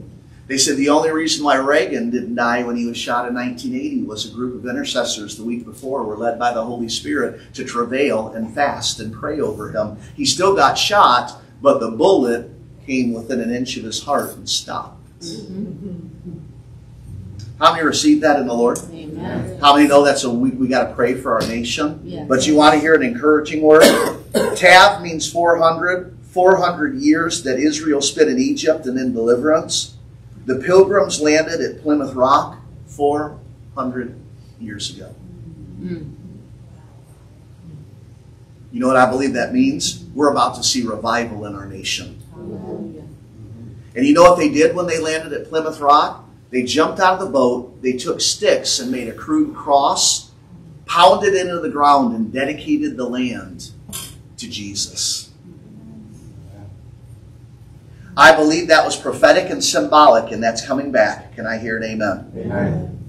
2022 will begin the marking of truth, beginning with the house of God. 2022 is a Shemitah year. Mm-hmm. You should start getting excited. It's a Shemitah year. The year of Shemitah was the seventh year. Now stay with me on this, please. It's a Shemitah year, a Sabbath year of rest. And to Israel, the Shemitah marked the end of something and the beginning of something else. Does anybody receive that? Yes. Now, remember that word about deliverance, 400 and deliverance? Mm-hmm. The Shemitah is a year to let go or a year to be released. Hallelujah. Yeah. So this is a Shemitah year. In the Shemitah year, they let the ground rest. So we've got to understand they came into the promised land, they conquered, and God set up the Shemitah principle. And that was the Lord said, You plant and you labor for six years based upon the creation, Genesis chapter 1. Then you let the year go fallow, the ground go fallow for the next year. It's a Shemitah year. What was the purpose of that? Well, it let the lands recover, right? Nutrients, minerals, etc. But also, if you're a farmer, what do you do during the Shemitah year? And by the way, the Lord said, if you follow that principle, my Shemitah principle, you'll harvest so much at the end of the sixth year, it will carry you into the seventh year and into the eighth year of planting. Mm-hmm. Yes. It's in the Word. It's in the Torah. What does a farmer do during a Shemitah year? Plants. Rest. It was a year of Sabbath. It was a year of focusing on the Lord. It was a year of going to all the feasts in Jerusalem, not just the three required annually. It was a Sabbath year. This is a Shemitah year. It's a year where God's going to meet you in the secret place.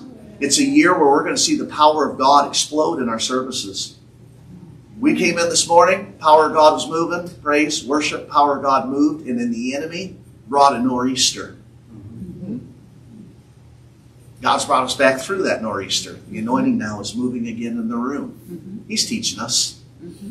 I'm not going to look at this and go, and instead of you know, all the microphones, like gave feedback and all this stuff happened. No, we're pressing through. Mm-hmm.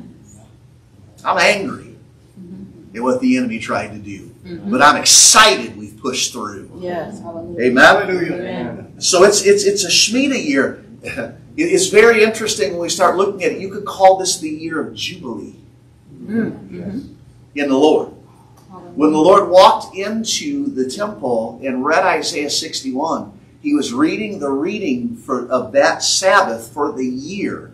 There was a Sabbath reading every Sabbath for the entire year. He opens up the, the scroll, Isaiah. The Spirit of the Sovereign Lord is upon me to preach the good news of the gospel to the poor, to bind up the brokenhearted, to set the captives free, to set at liberty those who sit in darkness, to give them beauty for ashes and joy for mourning and a garment of praise in the place of the spirit of despair. That was a Jubilee reading. Jesus was saying, I am Jubilee. Jesus is saying in 2022, I am Jubilee. Mm-hmm.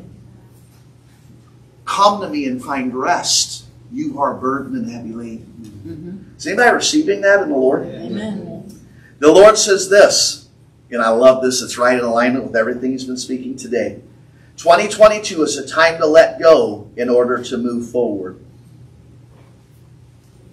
It's mm. very interesting. The Shemitah year was a year of restoration of anything that had been lost or stolen. It was a release from every obstacle that held people back. It was a year debts were forgiven. Oh. Folks, this is a Shemitah year. When you go before the Lord in your prayer times, we are in a season where God is going to pay debts off supernaturally. Now, don't forget to give Him the glory, honor, and praise. Amen. All right? Amen. And, and make sure that you honor Him with your wealth. Yes. Amen? But it's a year where God wants to pay debts off. Mm-hmm. I- I'm just being honest. And for some of you, it's going to be to position you for ministry. Mm-hmm.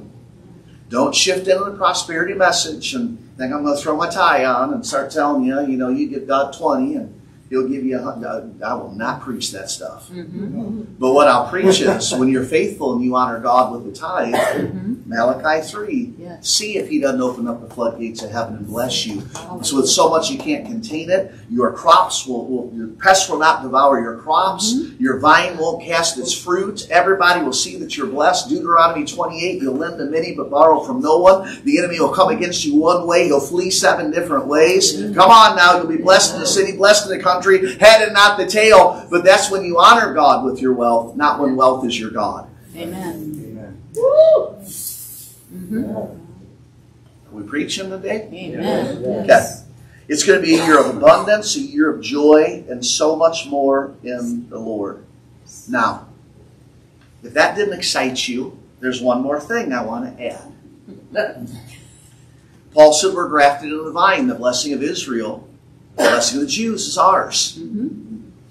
As Gentile believers, God wants us to pay attention to the Hebrew calendar. I'm convinced there's services that are off the charts that we have in the Gentile church. Those Sundays where you go, man, if you missed it, you missed that service. Mm-hmm. Oh, man. And if we look at the Hebrew calendar, it corresponds with a feast. Mm-hmm. God still moves according to his feasting calendar. He's our Jewish king. We cannot forget this. Amen? Amen. Okay, we want to keep this in mind. So anything for this year 5782 in the Hebrew is ours. Amen? As well as what God is speaking over the year 2022 in the Gregorian calendar. We've got to understand that. Mm-hmm. In the Hebrew calendar, 2022 is not just a Shemitah year, it's a double Adar year. It's the leap year in the Jewish calendar. It's a double Adar year. What goes on in the double Adar year? I'm glad you asked that. Uh, let's go to Isaiah 61. I can feel it in your spirit. You're like, what? What? now, by the way, there are two chapters that God has had me praying very consistently for Holly and I in this body. Psalm 91 is one of them. Isaiah 61 is the other. Now, I've already mentioned Isaiah 61 is a Jubilee word. Amen? The year of the Lord's favor, that's the year of Jubilee. That's the Shemitah year. Amen? So the Spirit of the Sovereign Lord is on me because He's anointed me to preach the good news to the poor. He sent me to bind up the brokenhearted, to proclaim freedom to the captives, mm. and, and release from darkness for the prisoners, to proclaim the year of the Lord's favor and the day of the vengeance of our God. That's what 2022 is going to be, church. Can I hear an amen? Amen. To comfort all who mourn, to provide for those who grieve in Zion, to bestow on them a crown of beauty instead of ashes. God's talking to you right now. Can I hear an amen? Amen. God says, I'm going to give you a crown of beauty instead of ashes. God says, I'm going to give you the oil of gladness instead of your mourning. The Lord says, I am going to give you a garment of praise instead of the spirit of despair, depression, oppression, fill in the blank. Notice what you're going to become. And you will be called oaks of righteousness, a planting of the Lord for the display of his splendor. Hallelujah. Amen? Amen. And what are we going to do? We're going to rebuild the ancient ruins and restore the places long devastated. We're going to be like Elijah rebuilding the altar on the top of Mount Carmel mm-hmm. so the fire can come down once again. Elijah, like a spiritual father, pulled everybody together. They cleaned off the stones and he said, Our God is the God who's returning the hearts of his people back to him. They'll rebuild the ancient ruins. They'll restore the places long devastated. You will be a repairer of broken walls. They will renew the ruined cities that have been devastated for generations. That's us this year, folks. Mm-hmm. Aliens will shepherd your flocks. Foreigners will work your fields. You will be called priests of the Lord. You will be named ministers of our God. And you will feed on the wealth of the nations, and then their riches you will boast. Now, all of that is for us and awesome. I want you to notice the Shemitah verse, the double Adar verse, Isaiah 61 7. Instead of shame, you will receive a double portion. This is a double portion Adar Shemitah year. Instead of shame, you will receive a double portion. Instead of disgrace, you will rejoice in your inheritance. And so you will inherit a double portion in the land, and everlasting joy will be yours. Hallelujah. Okay, now wait a minute. Brother Odie is taking notes all of a sudden. Spirit of God's hitting him. I love it. Now, it's amazing what you see from up here. Yes. in multiple realms. Hallelujah. I want you to notice something. And so they will inherit a double portion in what land? Their, our, your land. Now you can look at that and go, woohoo! Property. And God is going to give this house property in 2022. Amen. Hallelujah. Huh? But the Lord says, I'm going to give you a double portion of your land. Which means what? If you'll honor God this year, surrender, press into Him, He is going to expand your territory mm-hmm. and bring you to a spacious place without restriction. He's going to increase your sphere of influence. Don't just look at this in terms of possession. Mm-hmm. Look at this in terms of spiritual increase. God is going to increase the portion of the land of this house. He's going to increase our territory and bring us to a spacious place without restriction. And He's going to do that for you personally also. Your ministry will expand and increase. Oh, hallelujah. Shiria baba ba, horia baba shiria, horia baba ba shiria. Hey! Hey! We better get excited in the Lord. I've been watching God speak words from Thanksgiving through the end of 2021 mm-hmm. that back up every single thing that I have just released to you. And I have had God even release a few words to me to release to others mm-hmm. that are those same words exactly mm-hmm. spoken just a little different or through personal application for people in this room. I'm amazed. I'm telling you, church, this is the year of restoration to you of what the enemy has stolen mm-hmm. and the locust and cankerworm have eaten. But it's a double Adar year. It's a year of the double portion being restored. Now, I want to challenge you in the Lord to do something. Come before the Lord and speak His language. Lord, I come before you in the courts of the third heaven, and Lord, I decree and declare this is a double Adar year. Lord, I ask that you would give me a double portion of what's been stolen from me, what the locust and cankerworm have eaten, and what people have stolen. Don't ask that one dimensionally. Don't stop there. Mm-hmm. And then say, Lord, I ask you to restore that back to me and that that was stolen from my ancestors mm-hmm. all the way back to Adam and Eve. Yes. And Lord, I ask for that now in this generation. You want to know what else God told me? Mid December in my prayer time? I prayed that, and the Lord said, Okay, what else? And I went, I thought that was really thorough. I, I, it must not have been. Holy Spirit, please tell me what else. He said, Ask me for the things that you were supposed to ask me for in previous seasons that are still sitting in the store vaults of heaven mm-hmm. that I want to release to you now. Mm-hmm. He said, I don't release those to other people. They're, they're, waiting for you. They're yours. Mm-hmm. And I went, Oh! And I prayed that. Then the Holy Spirit said, Now what? And I went, Okay, I need wisdom, Lord. What, what am I missing? Mm-hmm. He said, Now ask for everything your ancestors should have asked for mm-hmm. that's waiting. Mm-hmm. And ask for it now. And I'm like, Oh, okay, okay.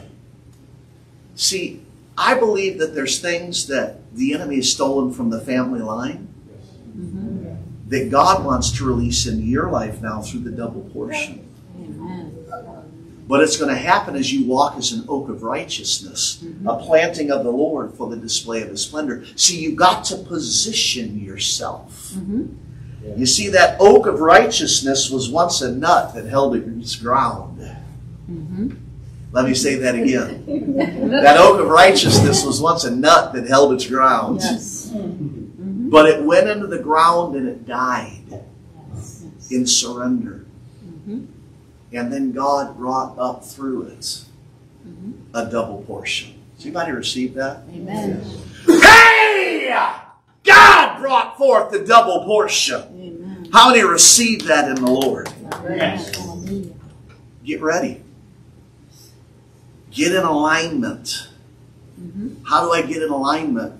Get in a secret place on your face, get on a prayer carpet on your face, and just say, Lord, any area of my life that's out of alignment with you, with your truth, your word, your spirit, bring it into alignment.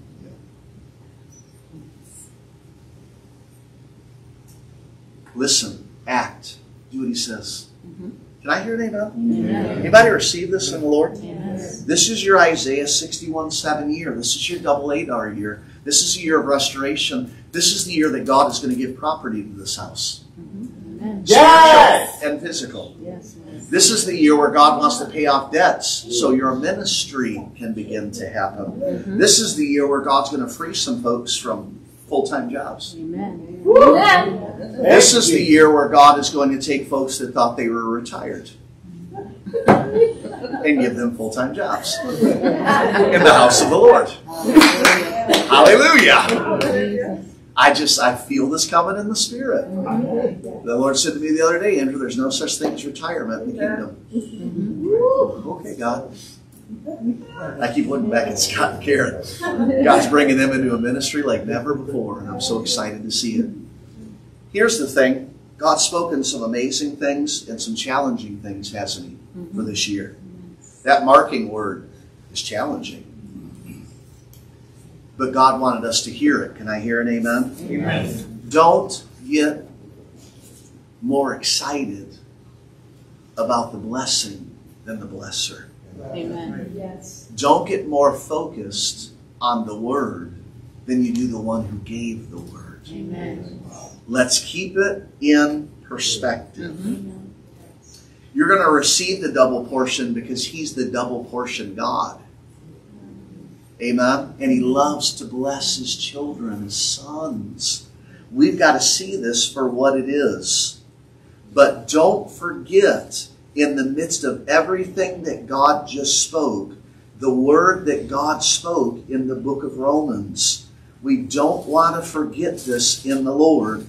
This is the year the Lord is saying, how many love the Lord? Romans 16:20, the God of peace will soon crush Satan under your feet. This is a year of victory. This is a year of overcoming.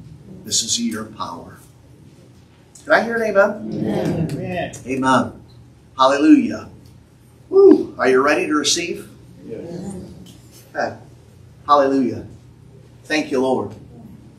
Just lift your hands up to receive before the Lord, if you will. Just lift your hands up before Him. Hallelujah. Lord Jesus, I decree and declare in your name over this group of people. Lord, over this group of saints that are in this house. And Lord Jesus, that are listening online. Lord Jesus, I decree and declare in your precious name that you are bringing an end in their lives to the torments and the trials and the roadblocks and the things that have held them back in previous seasons.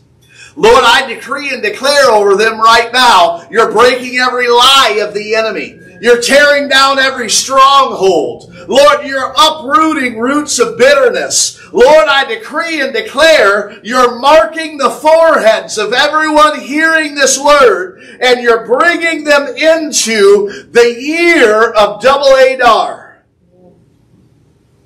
I decree and declare over you 2022 is the year that the Lord is going to rise up over you with healing in his wings and in his beams. And you're going to leap like calves released from the stall.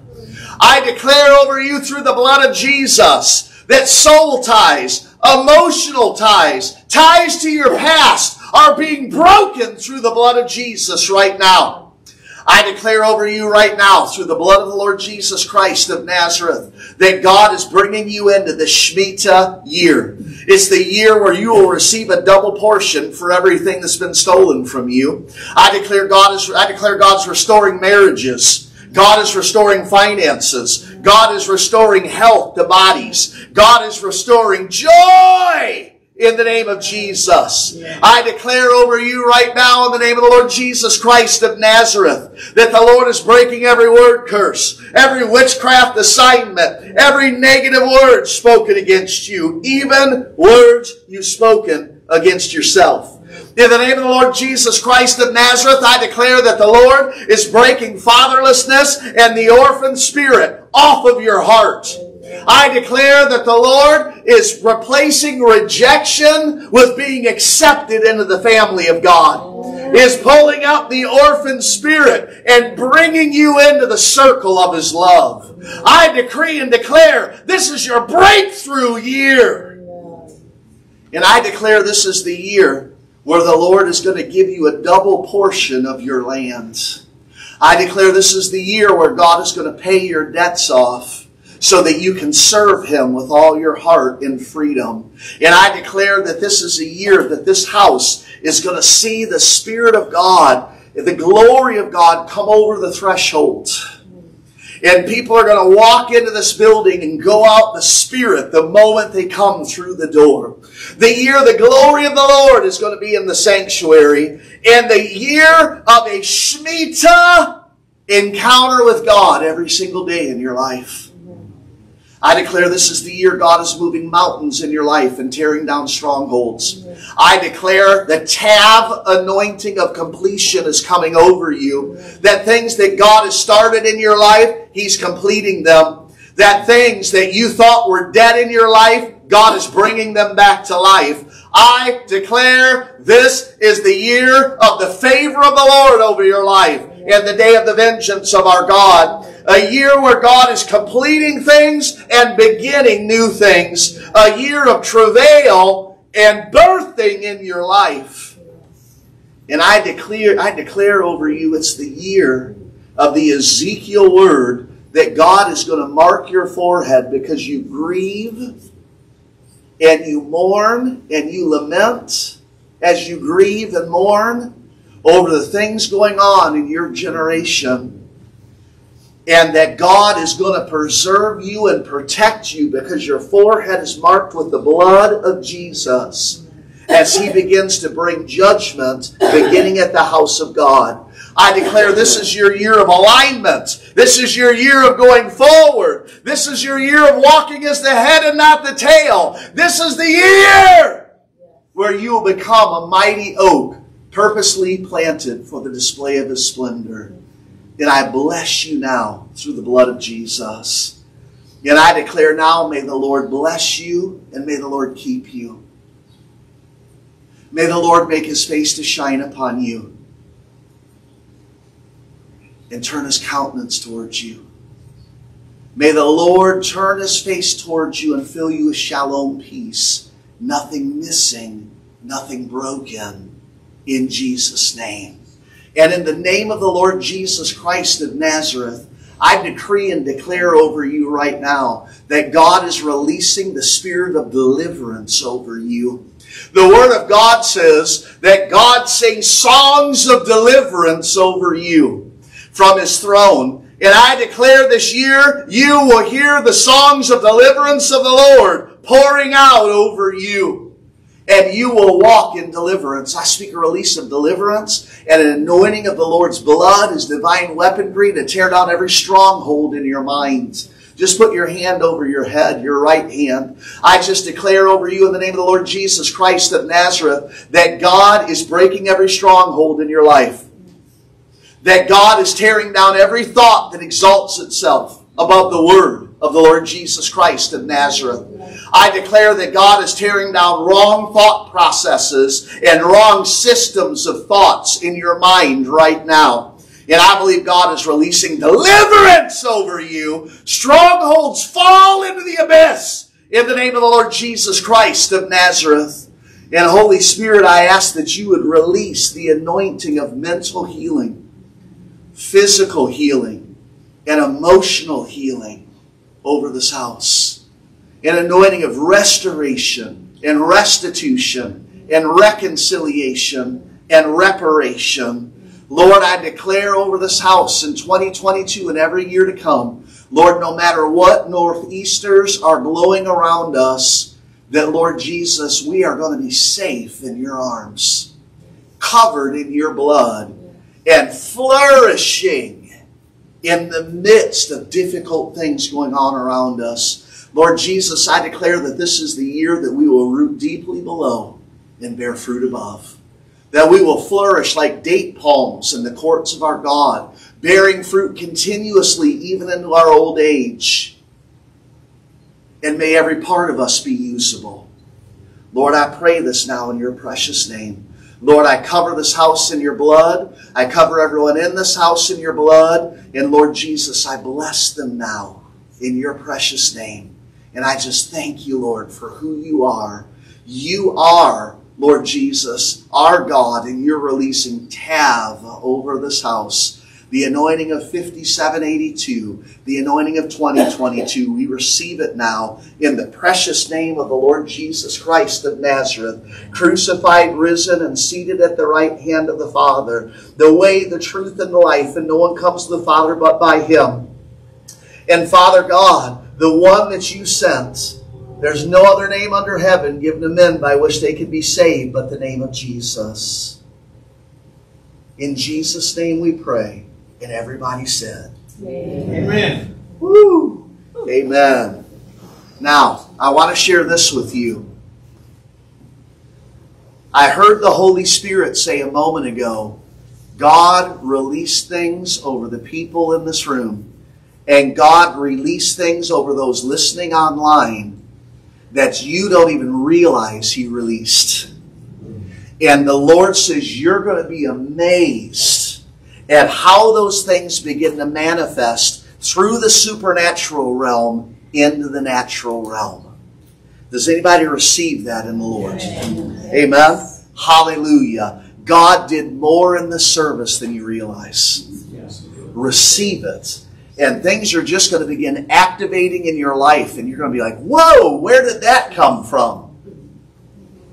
He planted those seeds today. God brought shifting over people's lives in the service today. You're just going to catch up with that shifting. It's coming. So don't be surprised. One more thing the Lord is saying this year He wants a deeper level of devotion from us. He wants a deeper level of devotion. So I want to encourage you to press deeper.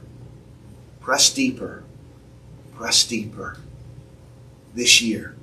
Deeper surrender, deeper devotion, deeper intimacy is going to be the key that unlocks the door to a lot of things that the Lord Jesus wants to do. It's going to open up the door for the unhindered, undiluted Jesus to walk into your house, to walk into this house, to walk into your automobile. Come on now. Come on. God's going to do these things. This year, God is going to ask you to get more involved in some things in this house. I may come and ask you, tap you on the shoulder. Hey, I really believe God's leading for you to be involved in this. I want to encourage you to prayerfully consider going through that door because God is going to call you into more this year. The deeper you surrender and say yes, the more God wants to begin to use you. Come on. Well, I really should say the more He can use you as you do that. He already wants to use you. You're just getting in alignment. Amen? I don't want to use anyone's anointing in this room to try to build a ministry. Mm-hmm. I don't want that. The growth of this house belongs to the one who builds this house. Unless the Lord builds the house, they that build it labor in vain. Unless the Lord watches over the city, they that watch, watch in vain. No, I want to encourage you to step into what God called you to before the foundations of the world were laid. I want to help you live out what He wrote about you in the book about your life before you're ever born. That's what I want to see. Amen? We do that, the Lord will build this house. This ministry will be what He wants it to be. Obedience, surrender, trust is going to open up the door for us to walk in holiness, purity, and the fear of the Lord more than ever before, which is going to open up the Shemitah flow that we've been talking about. Step by step, concept upon concept, precept upon precept. That's how this is going to happen. And don't you dare be discouraged this year. I can already feel the enemy trying to bring a little discouragement this morning. Uh-uh. No. No. We're not uh, no, we're not going there. We've come too far to turn back now. You wouldn't know how to get back anyway. And if you got there, you wouldn't belong there anymore. So you keep pressing forward. And I'm telling you this year, that prayer time that you don't feel like going in the secret place and doing, that service you don't really feel, not feeling it to attend, that intercessory meeting that you, eh, intercession, I don't know, go. This is the year that we're going to stop walking by what we feel and start walking according to what we know. You're going to walk by faith and not by sight. Amen? Amen. Amen. By the way, I love this prayer show. I want to thank my sister that blessed me with this. Hallelujah. I'm just loving this prayer shawl. Yes. God's already used it so much since it's been in this house. What a blessing from the Lord. Amen. Yes. And I'm noticing more prayer shawls are invading the house. it's kind of cool. In fact, Gio, New Year's Eve had like this full body prayer shawl outfit on. I've never seen anything like this in my life. Yes. It's absolutely beautiful in Yes, the Lord. was. Amen. If you will press into the Lord, you will be amazed this year. Amen. Does anybody surrender that to the Lord? Amen. Amen. The Lord says you don't need an altar call. You just need to have an altar in your hearts mm-hmm. Right now and just say, Yes, Lord. Does anybody say, Yes, Lord? Yes. We say, Yes, Lord. Yes. Lord said, I'm going to show you that the fishing boat can be used to do more than just catch, catch fish. It can be used for evangelism and teaching and miracles. The Lord says, I'm about to show you that I can take your five loaves and two fish and break them and multiply them as I pray over them to feed thousands. The Lord says, This is the year where you take a step towards me and I'll take three steps towards you. The Lord says, This is the year where I move the mountains. I, this is the year I become the irresistible force that moves the immovable object, the Lord says. I will be irresistible to you. Does anybody receive that in the Lord? Yes. All right. If you receive that and you believe that, say amen. Amen. Amen. Hallelujah. God bless you. You stayed extra innings today, but wow. Hallelujah. God just released so much today. I'm just so thankful for what He did. Go into this year expecting. Be willing to do things differently. Step out in the areas that you're led by the Holy Spirit in that you've been timid in before. Now is the time. Amen. And you will shine like a star in the heavenly realms in Jesus' name. Hallelujah. God bless you.